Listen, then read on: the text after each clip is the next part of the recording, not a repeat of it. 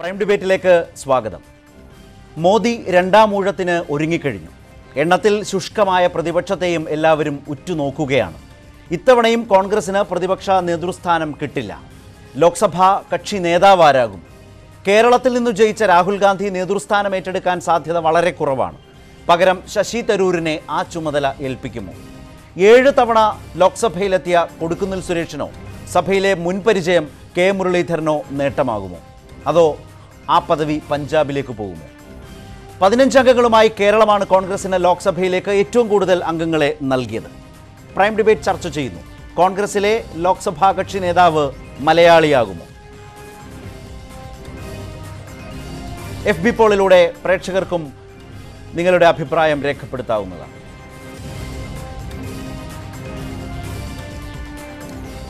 Prime ഡിബേറ്റിൽ പങ്കെടുക്കുന്നത് Shri G V Hari Shri Antony Raju മുതിർന്ന മാധ്യമപ്രവർത്തകൻ ശ്രീ സണ്ണിക്കുട്ടി എബ്രഹാം അതുപോലെ തന്നെ സാമൂഹ്യ നിരീക്ഷക എം ജി മല്ലിക എന്നിവരാണ്. പ്രൈം ഡിബേറ്റ് ആരംഭിക്കുകയാണ്. ശ്രീ സണ്ണിക്കുട്ടി അബ്രാം ഇപ്പോൾ ഈ ചോദ്യം കോൺഗ്രസിന്റെ ലോക്സഭാ കക്ഷി നേതാവ് മലയാളിയാകുമോ എന്ന ചോദ്യം ചോദിക്കുമ്പോൾ അതിന് ചരിത്രപരമായ രണ്ട് മുൻ വഴികൾ നമ്മുടെ മുമ്പിലുണ്ട്. ആദ്യ പാർലമെന്റിൽ ആദ്യ ലോക്സഭയിൽ പ്രതിപക്ഷ ഗ്രൂപ്പിന്റെ നേതാവായി എ കെ ജി. അതിനുശേഷം എഴുപത്തിയെട്ടിൽ സി എം സ്റ്റീഫനാണ് ഔദ്യോഗികമായി മലയാളിയായ ഒരു പ്രതിപക്ഷ നേതാവായി ആ സ്ഥാനത്തേക്ക് എത്തുന്നയാൾ. വീണ്ടും അങ്ങനെ ഒരു ചോദ്യം ചോദിക്കാൻ ഇപ്പോൾ പ്രതിപക്ഷ നേതാവ് സ്ഥാനം കിട്ടില്ലെങ്കിലും ലോക്സഭാ കക്ഷി നേതാവ് എന്ന നിലയിൽ കോൺഗ്രസിന്റെ ആ ഒരു പദവിയിലേക്ക് ഒരു മലയാളി എത്തുമോ എന്ന ഒരു ചോദ്യം അങ്ങനെ വന്നാൽ സാധ്യത അത്തരം ആലോചനകളിൽ ഒരു വലിയ പരിഗണനയും സാധ്യതയും ശ്രീ സണ്ണിക്കുട്ടി താങ്കൾ ശശി തരൂരിലും മറ്റും കാണുന്നുണ്ടോ?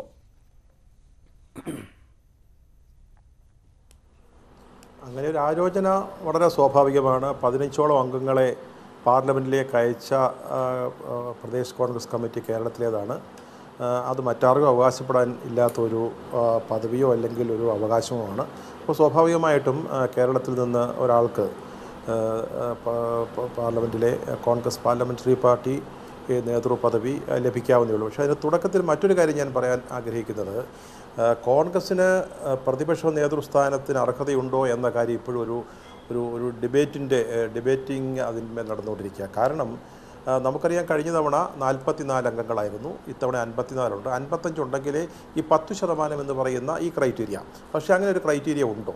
Shri P D T Achary അതായത് നേരത്തെ ലോക്സഭയുടെ സെക്രട്ടറി ജനറലായിരുന്ന അദ്ദേഹം കഴിഞ്ഞ ദിവസം ഒരു ടെലിവിഷൻ ചാനലിൽ പറയുന്നത് ഞാൻ കേട്ടത്. അങ്ങനെ ഒരു നിയമമില്ല. അങ്ങനെ ഒരു ചട്ടമില്ല. പത്ത് ശതമാനം അംഗങ്ങൾ ഉണ്ടാവണം എന്നൊരു ക്രൈറ്റീരിയ ഒരിടത്തും പറയുന്നില്ല.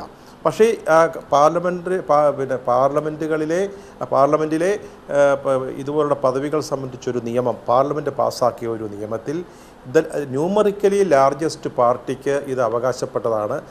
പ്രതിപക്ഷ നേതൃസ്ഥാനം കൊടുക്കാമെന്നാണ് പറയുന്നത്. മറ്റൊരു ക്രൈറ്റീരിയ ഇല്ലെന്ന് അദ്ദേഹം പറയുന്നു. ഒരുപക്ഷെ ഇക്കാര്യത്തിൽ മറ്റാരെക്കാട്ടിലും പിന്നെ അതോറിറ്റിയോടുകൂടി പറയാൻ പറ്റുന്ന ഒരാളാണ് അദ്ദേഹം. അദ്ദേഹം അതിനൊരു ഉദാഹരണവും പറഞ്ഞു. ഡൽഹി നിയമസഭയിൽ വലിയ മൃഗീയ ഭൂരിപക്ഷം ആം ആദ്മി പാർട്ടിക്കുള്ളപ്പോൾ വെറും മൂന്ന് അംഗങ്ങളുള്ള ബി ജെ പിക്ക് ശ്രീ കെജ്രിവാൾ ഈ പദവി നൽകി. പക്ഷേ കഴിഞ്ഞ തവണ ബി ജെ പി ഗവൺമെന്റ് അത് കൊടുക്കാൻ തയ്യാറായില്ല.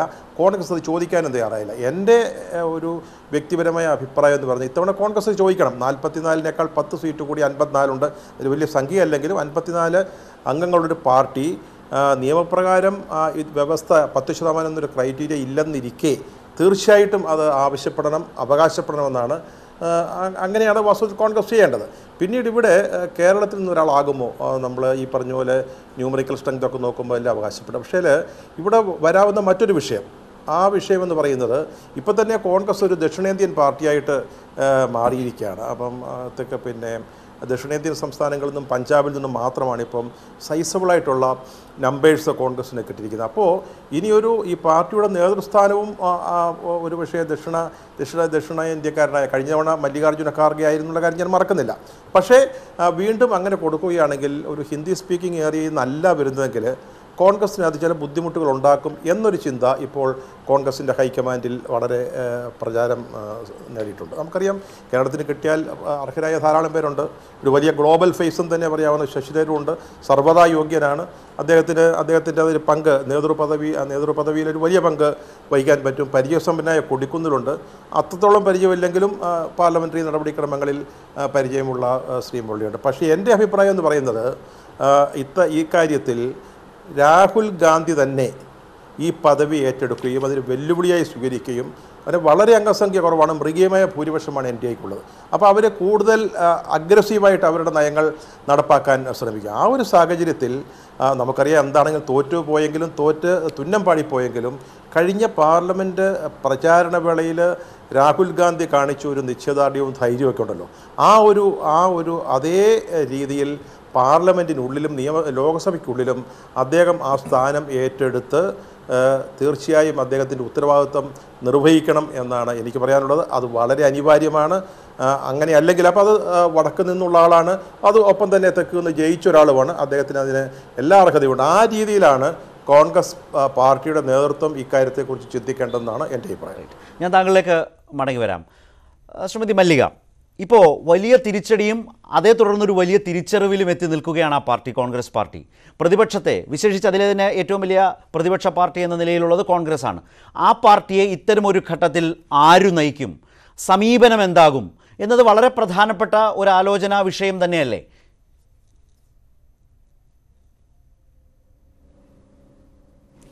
ആ കാര്യമായിട്ട് നമ്മൾ കാണുമ്പോൾ കോൺഗ്രസ് എന്ന് പറയുന്നൊരു കക്ഷി ഇന്ത്യൻ രാഷ്ട്രീയത്തിൽ എന്ത് ചെയ്യുന്നു? ഈ പ്രത്യേകിച്ചും ഈ പറഞ്ഞ കഴിഞ്ഞ ഇലക്ഷന് ചിന്തിക്കുന്ന ആൾക്കാരൊക്കെ ഉറ്റുനോക്കിക്കൊണ്ടിരുന്ന ഒരു പാർട്ടിയാണ്. സ്വാഭാവികമായിട്ട് എന്ത് ചെയ്യുന്നു? അതിന് അത് തകർച്ച ഉണ്ടായിട്ടുണ്ട്. വളരെ ഭീകരമായ രീതിയിലേക്ക് എന്ത് ചെയ്യുന്നു? പരാജയം ഏറ്റുവാങ്ങിയിട്ടുണ്ട്. പക്ഷേ എന്നാലും ഒരു ജനാധിപത്യ കക്ഷി എന്ന നിലയിലേക്ക് അല്ലെങ്കിൽ ഇന്ത്യൻ മനസ്സുകളെ കൃത്യമായിട്ട് കോർഡിനേറ്റ് കൊണ്ടുവച്ച് പറ്റുന്ന ഒരു കക്ഷി എന്ന നിലയിൽ അതിനെ സംഘടനാ സെറ്റപ്പിനെ ശക്തമാക്കി കൊണ്ടുവരികയും താഴെത്തട്ടിലുള്ള സംഘടന ശക്തിപ്പെടുത്തി ശക്തിപ്പെടുത്തിക്കൊണ്ടുള്ള ഒരു പ്രവർത്തന രീതിയിലൂടെ മാത്രമേ കോൺഗ്രസ് നിൽക്കാൻ പറ്റൂ. പക്ഷേ കോൺഗ്രസിന്റെ പ്രസക്തി ഇപ്പോഴും നിലനിൽക്കുകയാണ്. കാരണം ഒരു പ്രതിപക്ഷം എന്ന രീതിയിലേക്ക് ഏറ്റവും ഒറ്റക്കക്ഷിയായിട്ട് നിൽക്കുന്ന കോൺഗ്രസ് ആണ് അപ്പോൾ സ്വാഭാവികമായിട്ടും എന്ത് ചെയ്യുന്നു? അപ്പം ഏത് തരത്തിലാണെങ്കിലും എന്തെങ്കിലും ഒരു ജനാധിപത്യ പ്രക്രിയ നിലനിൽക്കണമെങ്കിൽ ഒരു ക്രിയാത്മകമായ പ്രതിപക്ഷം ഉണ്ടാവണമെന്നും അതിന് ശക്തമായ രീതിയിലേക്ക് പിന്നെ സ്വാ- സ്വാധീനിക്കാൻ കഴിയണമെന്നും ഇടപെടാൻ കഴിയണമെന്നും ഒക്കെ ഒരു രീതിയിലേക്ക് വരുന്ന സമയത്ത് കോൺഗ്രസിനെ വളരെ പ്രതീക്ഷയോടുകൂടി തന്നെയാണ് ഉറ്റം. പക്ഷേ നമ്മൾ കാണുന്നത് എന്താ വെച്ചാൽ നേരത്തെ പറഞ്ഞതുപോലെ തന്നെ എന്ത് ചെയ്യുന്നു എന്ന് വെച്ചാൽ കോൺഗ്രസ്സിന് അടിവേരുകൾ ഉണ്ടായിരുന്ന അല്ലെങ്കിൽ കോൺഗ്രസ് നിലനിൽക്കാൻ കഴിഞ്ഞിരുന്ന ഇടങ്ങളിൽ നിന്ന് മുഴുവൻ നമ്മൾ പ്രധാനമന്ത്രിയായിട്ട് ഉയർത്തിക്കാട്ടിയിരിക്കുന്ന ആ, പിന്നെ രാഹുൽ ഗാന്ധിയുടെ മണ്ഡലം അല്ലെങ്കിൽ രാഹുൽ ഗാന്ധി ഇത്രയും കാലം ജയിച്ചിരുന്ന മണ്ഡലത്തിൽ നിന്ന് തന്നെ എന്ത് ചെയ്യുന്നു?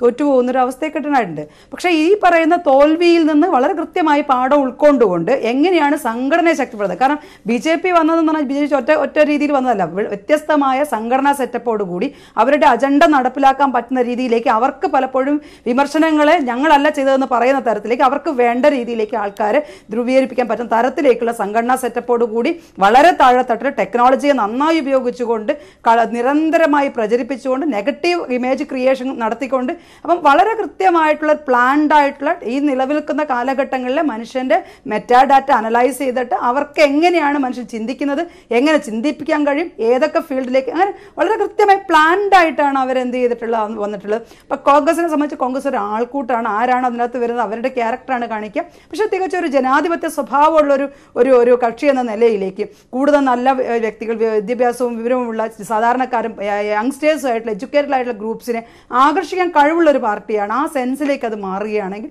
അപ്പം ആ രീതിയിലേക്ക് മാറണമെന്ന് ആഗ്രഹിക്കുന്ന ഒരുപാട് പേര് എന്ത് ചെയ്യുന്നു? ചിതറിക്കിടക്കുന്നതാണെങ്കിലും ഉണ്ട് എന്നുള്ളതാണ് ഏറ്റവും വലിയ വസ്തുത. അപ്പോൾ കോൺഗ്രസിനെ ശരിക്കും അതിന്റെ ശൈലിയിൽ വളരെ കാര്യമായ രീതിയിലേക്ക് മാറ്റം വരുത്തേണ്ടതാണ് സ്ട്രക്ചറിന്റെ അകത്തുണ്ടാകുന്ന ഏറ്റവും വലിയ ഗുണം സ്ട്രക്ചറിന്റെ അകത്തുണ്ടാകുന്ന ഗുണം എന്താണ് ഫ്ലെക്സിബിൾ ആണ്. ആർക്കും വേണം അതിനകത്ത് കയറാം ആർക്കും അഭിപ്രായം പറയാൻ പറ്റും. അതുകൊണ്ട് തന്നെയാണ് എന്ത് ചെയ്യുന്നത് വെച്ചാൽ കോർപ്പറേറ്റുകൾക്കൊക്കെ തന്നെ വളരെ ശക്തമായ രീതിയിലേക്ക് ഒരു പോളിസി നടപ്പിലാക്കാൻ കോൺഗ്രസിന് പറ്റൂല. കാരണം അതിൽ വിമർശനങ്ങൾ ഉണ്ടാവും. ഏകപക്ഷീയം നടപ്പാക്കാൻ പറ്റില്ല. പക്ഷേ ബി ജെ പി ആണെങ്കിൽ എന്ത് ചെയ്യുന്നു? ബി ജെ പിയെ സംബന്ധിച്ച് നേതൃത്വത്തിൽ അത് നരേന്ദ്രമോദി ആണെങ്കിലും അമിത്ഷാ ആണോ തീരുമാനിക്കുന്ന കാര്യങ്ങൾ എന്ത് ചെയ്യുന്നു? അത് അതേപടി നടപ്പിലാക്കാൻ പറ്റുന്ന കൃത്യമായ സ്ട്രക്ചർ ഉണ്ട്. അത് അത് അവരുദ്ദേശിക്കുന്ന അർത്ഥത്തിൽ അത് എന്താണോ അതിന്റെ ഫലം അതിനപ്പുറത്തേക്ക് എന്ത് ചെയ്യുന്നു? വളരെ ശക്തമായ രീതിയിലേക്ക് ജനങ്ങളുടെ ഇടയിലേക്ക് ഒരു ഒരു കള്ളം ഒരു പത്ത് പ്രാവശ്യം ആയിരം പ്രാവശ്യം പറഞ്ഞു കഴിഞ്ഞാൽ സത്യമായി മാറും എന്ന തരത്തിലേക്ക് പ്രചരിപ്പിക്കാനും കഴിയുന്നുണ്ട്. അപ്പം ആ ഒരു ഒരു സംഘടനാ സംവിധാനത്തോടാണ് മറുവശം എന്ത് ചെയ്യുന്നത്? ഫൈറ്റ് ചെയ്യുന്നത്. അപ്പം ഞാൻ കാണുന്നത് എന്താ വെച്ചാൽ കഴിഞ്ഞ ഈ അഞ്ച് വർഷം കഴിഞ്ഞുണ്ടാവുന്ന ഒരു ഒരു ഒരു ഒരു ഇലക്ഷൻ ആ ഇലക്ഷനിലേക്ക് ഇപ്പം തന്നെ വർക്ക് ചെയ്ത് തുടങ്ങുകയാണെങ്കിൽ ശൈലിയിൽ സംഘടന കാരണം ഗ്രാസ് റൂട്ട് ലെവലിൽ എങ്ങനെയാണോ നമ്മൾ ഈ പറയുന്ന ജനതയുടെ അല്ലെങ്കിൽ ആ ജനങ്ങളുടെ ഉള്ളിലേക്ക് ഇറങ്ങിക്കൊണ്ട് പ്രവർത്തിച്ച് കൊണ്ടുവരികയാണെങ്കിൽ ഒരു ശൈലിയിനകത്ത് മാറ്റം ഉണ്ടാവുകയാണെങ്കിൽ കുറെ കൂടെ ആ രീതിയിൽ ഇപ്പം രാജീവ് ഗാന്ധി പിന്നെ രാഹുൽ ഗാന്ധിയുടെ സമീപനത്തിലൊക്കെ തന്നെ ഒരു ജനാധിപത്യ സ്വഭാവം കാണാൻ കഴിഞ്ഞിട്ട് അത് തന്നെയാണ് രാഹുൽ ഗാന്ധിയുടെ ഇമേജ് മുമ്പുണ്ടായിരുന്ന കഴിഞ്ഞ ഇലക്ഷനിൽ അപേക്ഷിച്ച് ഇപ്പോഴത്തെ ഈ പറയുന്ന ഇലക്ഷൻ വരുന്ന സമയത്ത് ഒരുപാട് തരത്തിൽ മാറ്റം ഒരു ജനാധിപത്യകാംക്ഷികളായിട്ടുള്ള ആൾക്കാരുടെ മുന്നിലൊക്കെ തന്നെ എന്ത് ചെയ്യുന്നു അത്തരത്തിലുള്ളൊരു ഇമേജ് പണ്ട് തികച്ചും അടച്ചാക്ഷേപിച്ചിരുന്ന ഒരു കേസിൽ നിന്ന് കോൺഗ്രസിന്റെ ഒരു ഇമേജിൽ മാറ്റം വരുത്താൻ എന്ത് ചെയ്തിട്ടുണ്ട്? രാഹുൽ ഗാന്ധി കഴിഞ്ഞിട്ടുണ്ട്. പക്ഷെ ഇതിനെ എന്ത് ചെയ്യുന്നു? ശക്തമായ രീതിയിലേക്ക് പലതരത്തിലേക്കുള്ള സംഘടന അപ്പോൾ നമുക്കറിയാം പ്രൊഫഷണൽ ആയിട്ടുള്ള ആൾക്കാരുടെ ഇടയിലും വിദ്യാഭ്യാസ വിദ്യാർത്ഥികളുടെ ഇടയിലും ഒക്കെ തന്നെ ആ രീതിയിലേക്ക് ഒരു ഒരു സംഘടന ശക്തമാക്കിക്കൊണ്ട് മാത്രമേ ഇനി കോൺഗ്രസ് കോൺഗ്രസിന് നിലനിൽക്കാൻ കഴിയുള്ളൂ. അതിനുള്ള സാധ്യതയുണ്ട്. കാരണം എന്താ വെച്ച് കഴിഞ്ഞാൽ നമ്മൾ നമുക്ക് ഒരിക്കലും എന്ത് ചെയ്യുന്ന വെച്ചാൽ ഒരേ ഒരു ഒരു തരത്തിൽ തന്നെ ചിന്തിക്കൂ. അതിൽ ആ രീതിയിലേക്ക് മാത്രം വരികയോ ചെയ്യുന്നതല്ല പലപ്പോഴും എന്ത് ചെയ്യുന്നു? തെറ്റിദ്ധരിപ്പിക്കപ്പെടുന്നുണ്ട്. നമ്മുടെ മുന്നിലേക്ക് വരുന്ന ഫാക്ട്സ് എന്ന് പറഞ്ഞാൽ ഇൻഫർമേഷൻസിന് കൃത്യമായ ഇൻഫർമേഷൻ അല്ലാത്ത രീതിയിലേക്ക് പ്രചരിപ്പിക്കപ്പെടുന്ന ഒരു വലിയൊരു സാധ്യതയുണ്ട്. അതിന് ടാക്കിൾ ചെയ്യാനും അതിനെ കാര്യമായിട്ട് കണ്ടിട്ട് ആ ഒരു കാര്യത്തെ എങ്ങനെയാണ് അതിനെ അതിന് ജനങ്ങളുടെ ശക്തമായ പിന്തുണയോടുകൂടി മാത്രമേ എഡ്യൂക്കേറ്റഡ് ആയിട്ടുള്ള ഗ്രൂപ്പിനെ വളരെ കൃത്യമായി അഡ്രസ്സ് ചെയ്തുകൊണ്ട് മാത്രമേ അല്ല അവരെ ഉൾക്കൊള്ളിച്ചുകൊണ്ട് സംഘടനാ സെറ്റപ്പ് കൊണ്ടുവരുമ്പോൾ മാത്രമേ ഈ പറയുന്ന രീതിയിലേക്ക് ഉള്ളൂ. അപ്പോൾ ഞാൻ പറഞ്ഞൊരു അഞ്ചു കൊല്ലം കൊണ്ട് നമ്മൾ എന്ത് ചെയ്യുന്നു? സംഘടനകൾക്കോ അല്ലെ മുന്നണികൾക്കൊക്കെ തന്നെ കാര്യമായൊരു മാറ്റം ഉണ്ടാവേണ്ടതുണ്ട്. ആ രീതിയിലേക്ക് ശൈലി മാറ്റത്തിന് മുൻനിരയിൽ നിൽക്കേണ്ട ഒരു കക്ഷിയാണ് കോൺഗ്രസ് പാർട്ടി. ആ കോൺഗ്രസ് പാർട്ടിയെ സംബന്ധിച്ച് കാരണം ഇന്ത്യൻ സ്ട്രക്ചർ ഇന്ത്യൻ ഞാൻ വരാം. ആ- പറഞ്ഞൊരു പ്രധാനപ്പെട്ട പ്രധാനപ്പെട്ട വാദമാണ് നിലപാടാണ്. അങ്ങനെ അങ്ങനെ കോൺഗ്രസ് ജനാധിപത്യപരമായി മുന്നോട്ട് വരണം. അടുത്ത അഞ്ചു വർഷത്തിനു ശേഷം വരുന്ന ഒരു രാഷ്ട്രീയ പോരാട്ടത്തിനുള്ള തയ്യാറെടുപ്പിന്റെ തുടക്കമാണിവിടെ. അവിടെയാണ് സഭയ്ക്കകത്തും പുറത്തും ആരാകും ഈ പാർട്ടിയെ നയിക്കുക എന്ന ചോദ്യം പ്രസക്തമാകുന്നത്. അവിടെയാണ് ലോക്സഭയിൽ ഈ കോൺഗ്രസ് ഗ്രൂപ്പിനെ ആര് നയിക്കും? അതിൽ മലയാളി അതിന്റെ നേതൃസ്ഥാനത്തേക്ക് വരുമോ എന്ന് ചോദിക്കേണ്ടി വരുന്നത്. അവിടെ ശ്രീ ആന്റണി രാജു അത് ചോദിക്കാനുണ്ടാകുന്ന ഒരു പ്രധാന കാരണം ഇപ്പോൾ തന്നെ ഈ പദവികളിൽ നിന്ന് എല്ലാം വിട്ടൊഴിഞ്ഞ് ഈ പരാജയത്തിന്റെ ഉത്തരവാദിത്വം ഏറ്റെടുത്ത് വിട്ടുവീഴ്ചയില്ലാത്ത നിലപാടുമായി രാഹുൽ ഗാന്ധി നിൽക്കുകയാണ്. ഇപ്പോൾ രാഹുൽ ഗാന്ധി അത് ഏറ്റെടുത്താൽ കേരളത്തിൽ വന്ന് ജയിച്ച രാഹുൽ ഗാന്ധി എന്നൊരു പ്രശ്നമുണ്ട്. എന്ന നിലയിൽ തന്നെ കാണാം. ഇതുമല്ലാത്ത നിലയിലേക്ക് വന്നാൽ പതിനഞ്ച് അംഗങ്ങളെയാണ് കേരളം കോൺഗ്രസിന് സമ്മാനിച്ചത്. പിന്നീട് തമിഴ്നാടാണ് വരുന്നത്. പിന്നെ പഞ്ചാബാണല്ലോ അത്രയേ ഉള്ളൂ ആകെ വളരെ പ്രധാനപ്പെട്ട നിലയിൽ ഡിജിറ്റ്. ഇതിൽ കേരളത്തിൽ നിന്ന് ഉയർന്നു വരുന്ന നേതാക്കൾ തരൂരട തരൂരടക്കമുള്ള നേതാക്കൾ അവരുടെ സാധ്യതകളും പരിമിതികളും ആന്റണി രാജു ശ്രദ്ധിച്ചിട്ടുണ്ടോ ഈ പദവിയിലേക്ക്?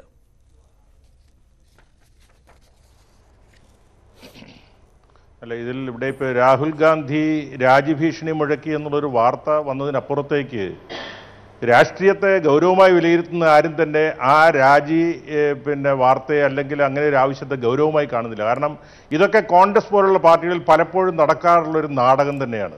കാരണം നേതാവ് രാജി പ്രഖ്യാപിക്കുക അണികൾ അവസാനം പി സി സികളെ കൊണ്ട് പ്രമേയം പാസ്സാക്കിക്കുക അവസാനം അഖിലേന്ത്യാ നേതാക്കന്മാർ ഒന്നടങ്കം ആവശ്യപ്പെടുക അപ്പോൾ അത് ജനങ്ങളുടെ മുമ്പിൽ വേറൊരു ഒരു ഇമേജ് ഉണ്ടാക്കി എടുത്തുകൊണ്ട് വീണ്ടും അദ്ദേഹത്തിന്റെ സ്ഥാനത്ത് തുടരുക. അത് ശരിയാണ്. അത് അത് കോൺഗ്രസിലും ഒക്കെ പണ്ടും ഇത്തരം ഇത്തരം ആയതുകൊണ്ട് ഇത്തരം സംവിധാനങ്ങൾ ഷാനൻ രാജു പറഞ്ഞു ഞാൻ തള്ളിക്കളയുന്നില്ല. പക്ഷേ എനിക്കതിൽ കൂട്ടിച്ചേർക്കാനുള്ള ഒരു കാര്യം. രാഹുൽ ഗാന്ധി ആയതുകൊണ്ടും രാഹുൽ ഗാന്ധി ഈ കഴിഞ്ഞ കാലം കൊണ്ട് ജനങ്ങൾക്ക് മുമ്പിൽ സൃഷ്ടിച്ചെടുത്ത അത്ര ഗംഭീരമായ അത്ര ഏറ്റവും മികച്ച നിലയിലൊന്നുമല്ല ഞാൻ പറയുന്നത്. അദ്ദേഹത്തെ കൊണ്ടാകും വിധം ഉണ്ടാക്കിയെടുത്തിട്ടുള്ളൊരു മാറ്റമുണ്ട് ഇപ്പോൾ ശ്രീമതി മല്ലിക പറഞ്ഞതുപോലെ. അവിടെ രാഹുൽ ഗാന്ധി പറയുന്നുണ്ട് ഗാന്ധി കുടുംബത്തിൽ നിന്ന് പുറത്തു നിന്നൊരാൾ അധ്യക്ഷനായി വരട്ടെ. ആ നിലയിൽ തള്ളിക്കളയുന്നു. അതിനുശേഷവും രാഹുൽ ഗാന്ധി ആ നിലപാടിൽ ഉറച്ചു നിൽക്കുന്നു. ഇന്നും അത്തരം അനുനയ ശ്രമങ്ങൾ വന്നു. രാഹുൽ ഗാന്ധി അതിന് വഴങ്ങിയിട്ടില്ല. അതൊക്കെ കേവലം മുൻപ് കണ്ടിട്ടുള്ള സ്റ്റണ്ടിനപ്പുറത്തേക്കുള്ള ചില നിലപാടായി കുറേ ആളുകൾക്കെങ്കിലും തോന്നാം. കാരണം ആ നിലയിലാണ് രാഹുൽ ഗാന്ധി തിരഞ്ഞെടുപ്പ് കാലത്ത് ആളുകളുമായി സംസാരിച്ചത്.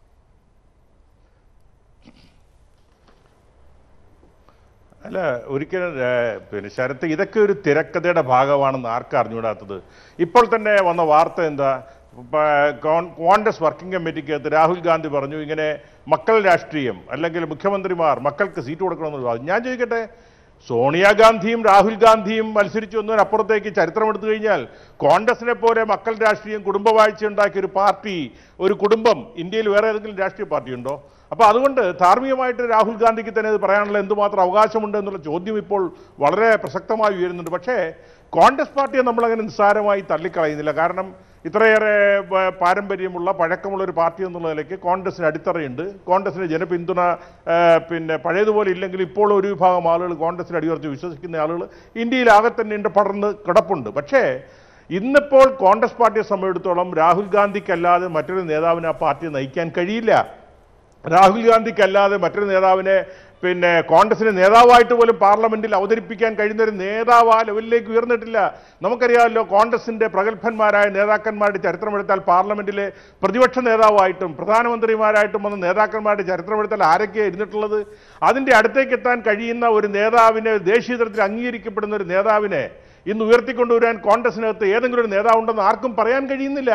വൈ ബി ചവാൻ ഉൾപ്പെടെ പിന്നെ ഇന്ദിരാഗാന്ധി ഉൾപ്പെടെ സോണിയാഗാന്ധി ഉൾപ്പെടെ രാഹുൽ ഗാന്ധി ഉൾപ്പെടെ സി എം സ്റ്റീഫൻ ഉൾപ്പെടെ നരസിംഹറാവ് ഉൾപ്പെടെയുള്ള പ്രഗത്ഭന്മാർ പ്രതിപക്ഷത്തും ഭരണപക്ഷത്തും പ്രധാനമന്ത്രിയായൊക്കെ ഇരുന്നൊരു പാർട്ടി ഇന്ന് പ്രതിപക്ഷ പ്രതിപക്ഷ നേതാവാകാൻ കഴിയില്ല. ആ പാർട്ടിക്ക് ഒരിക്കലും ഈ പതിനേഴാം ലോക്സഭയിൽ പ്രതിപക്ഷ നേതാവാകാൻ കഴിയില്ല. നിയമപരമായി തന്നെ കഴിയില്ല. ഇന്ന് Shri P D P P D Raja പിന്നെ പിന്നെ പിന്നെ പഴയ പഴയ ലോക്സഭാ സെക്രട്ടറി ഒരു പ്രസ്ഥാനം പ്രസ്താവന പുറപ്പെടുവിച്ചു നിയമപരമായി കഴിയും. ശരിയല്ല. നിയമപരമായി പത്ത് ശതമാനം ഇല്ലാത്ത സ്ഥിതിക്ക് കോൺഗ്രസ് പാർട്ടിക്ക് പ്രതിപക്ഷ നേതൃത്വ സ്ഥാനം കിട്ടില്ല. കോൺഗ്രസിന്റെ ഒരു നേതാവായിട്ട് ആരെ വേണമെന്നുള്ളതാണ്. അത് ഇന്നത്തെ സാഹചര്യത്തിൽ കോൺഗ്രസ് പ്രസിഡന്റ് ആയിട്ട് ശ്രീ ഒരു സംശയം ചോദിക്കട്ടെ. അങ്ങനെയാണെങ്കിൽ ഡൽഹി നിയമസഭയിൽ ഡൽഹി നിയമസഭയിൽ മൃഗീയ ഭൂരിപക്ഷമുള്ള ആം ആദ്മി പാർട്ടി എങ്ങനെയാണ് നാമമാത്രമായ അംഗങ്ങളുള്ള ബി ജെ പിക്ക് ആ പദവി നൽകിയത്? നിയമപരമായ തടസ്സമുണ്ടെങ്കിൽ അവരെ കൊണ്ട് അതിന് കഴിയില്ലല്ലോ.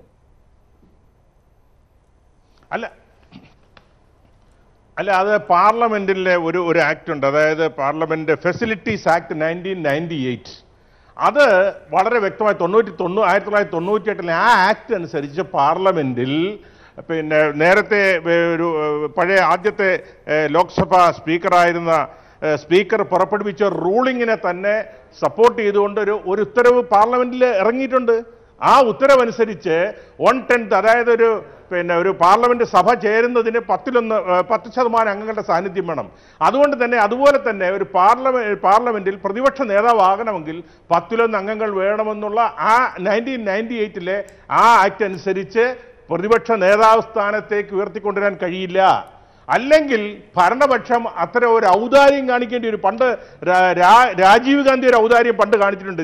തെലുങ്ക് ദേശം പാർട്ടിയോട്. അവർക്ക് പത്ത് ശതമാനം ഇല്ലായിരുന്നു ലോക്സഭയിൽ പക്ഷേ എന്നിട്ടും നാൽപ്പത്തിയൊന്ന് അംഗങ്ങളെ ഉണ്ടായിരുന്നുള്ളൂ. എന്നിട്ടും രാജീവ് ഗാന്ധി അന്നത്തെ കോൺഗ്രസ് പാർലമെന്ററി പാർട്ടി നേതാവ് അന്നത്തെ പ്രധാനമന്ത്രി രാജീവ് ഗാന്ധി ഒരു ഔദാര്യം കാണിച്ചു ചോദിച്ചാൽ ഇന്ദിരാഗാന്ധി പോലും പലപ്പോഴും കാണിച്ചിട്ടില്ല അത്. കോൺഗ്രസിന്റെ പല ഗവൺമെന്റുകൾ വന്നപ്പോൾ പ്രതിപക്ഷത്ത് പത്ത് ശതമാനം ആളില്ലാത്ത പാർട്ടികളെ രാഹു രാജീവ് ഗാന്ധി ഒരിക്കൽ അംഗീകരിച്ചതൊഴിച്ചാൽ പ്രതിപക്ഷ നേതാവായിട്ട് അംഗീകരിക്കാൻ ആ പാർട്ടി ഒരിക്കലും തയ്യാറായിരുന്നില്ല.